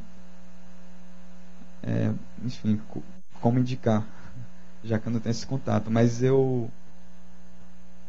Essa, essa apresentação tá. Esse slide está disponível também no meu site, é valeciobrito.com.br. E me disponho se, se as pessoas estiverem interessadas em mapear, enfim fica essa contribuição. E é isso. Eu abro a, a perguntas aí, dúvidas é, que alguém tenha. Quem estiver acompanhando pelo stream pode mandar pelo Twitter com a hashtag DFD2013. E, enfim, obrigado aí o convite.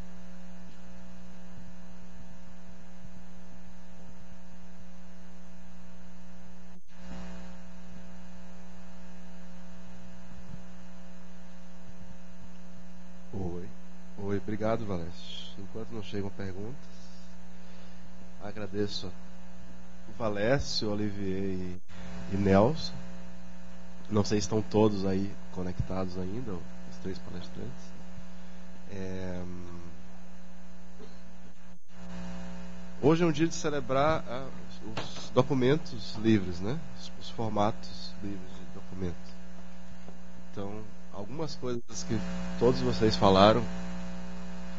É, você falando do, dos, dos, formatos gráficos, então, além dos, dos formatos de escritório. É, o Olivier falando da comunidade que se desenvolveu em torno uma ferramenta é, que, que trabalha unicamente com padrões padrões abertos E o Nelson, que deu o arcabouço teórico legal de licenças ali no início. Eu acho que é legal uma coisa, até para a diversidade do, do, que o Olivier estava falando, que a gente tem é, mais, mais de uma ferramenta para lidar, por exemplo, o documento de escritório, é só um atestado do sucesso das implementações de, de padrões abertos. Né? Não tivesse padrões abertos, provavelmente a gente não estaria falando de OpenOffice e LibreOffice. Talvez não tivesse um dos dois. Então, é isso aí. Se não chegaram perguntas, eu acho que a gente já pode encerrar o que a gente está fazendo. Agradecer de novo vocês. Lembrar que daqui a um mês a gente tem o Dia Internacional de, Instalação de Software Livre, o FLISOL, latino-americano de, de de instalação de software livre, que é o FreeSol, dia 27 de abril. Vai ter atividade em várias cidades brasileiras, aqui em Brasília, eu nem lembro onde é, na universidade, na... Mas enfim, flisol.org tem as, as, informações que precisa. É, daqui a 14 semanas tem o FISM e até lá vai ter muitas outras coisas também. Como eu falei no início, a gente vai ter o planejamento também Comitê de Software Livre do Governo Federal, que é uma reunião aberta para a sociedade civil. E é isso. Valeu, obrigadão. Até a próxima. Ano que vem tem mais DFD. Ah, mais uma coisa. Não sei se os palestrantes estão aí também, mas o palestra está aqui ainda, pelo menos. É, não se enganem com a, com a lotação dos auditórios. Já é comum nos últimos anos que a maior parte das pessoas que assistem nossas palestras Está no streaming. E o, o vídeo vai estar disponível depois para download, quem quiser.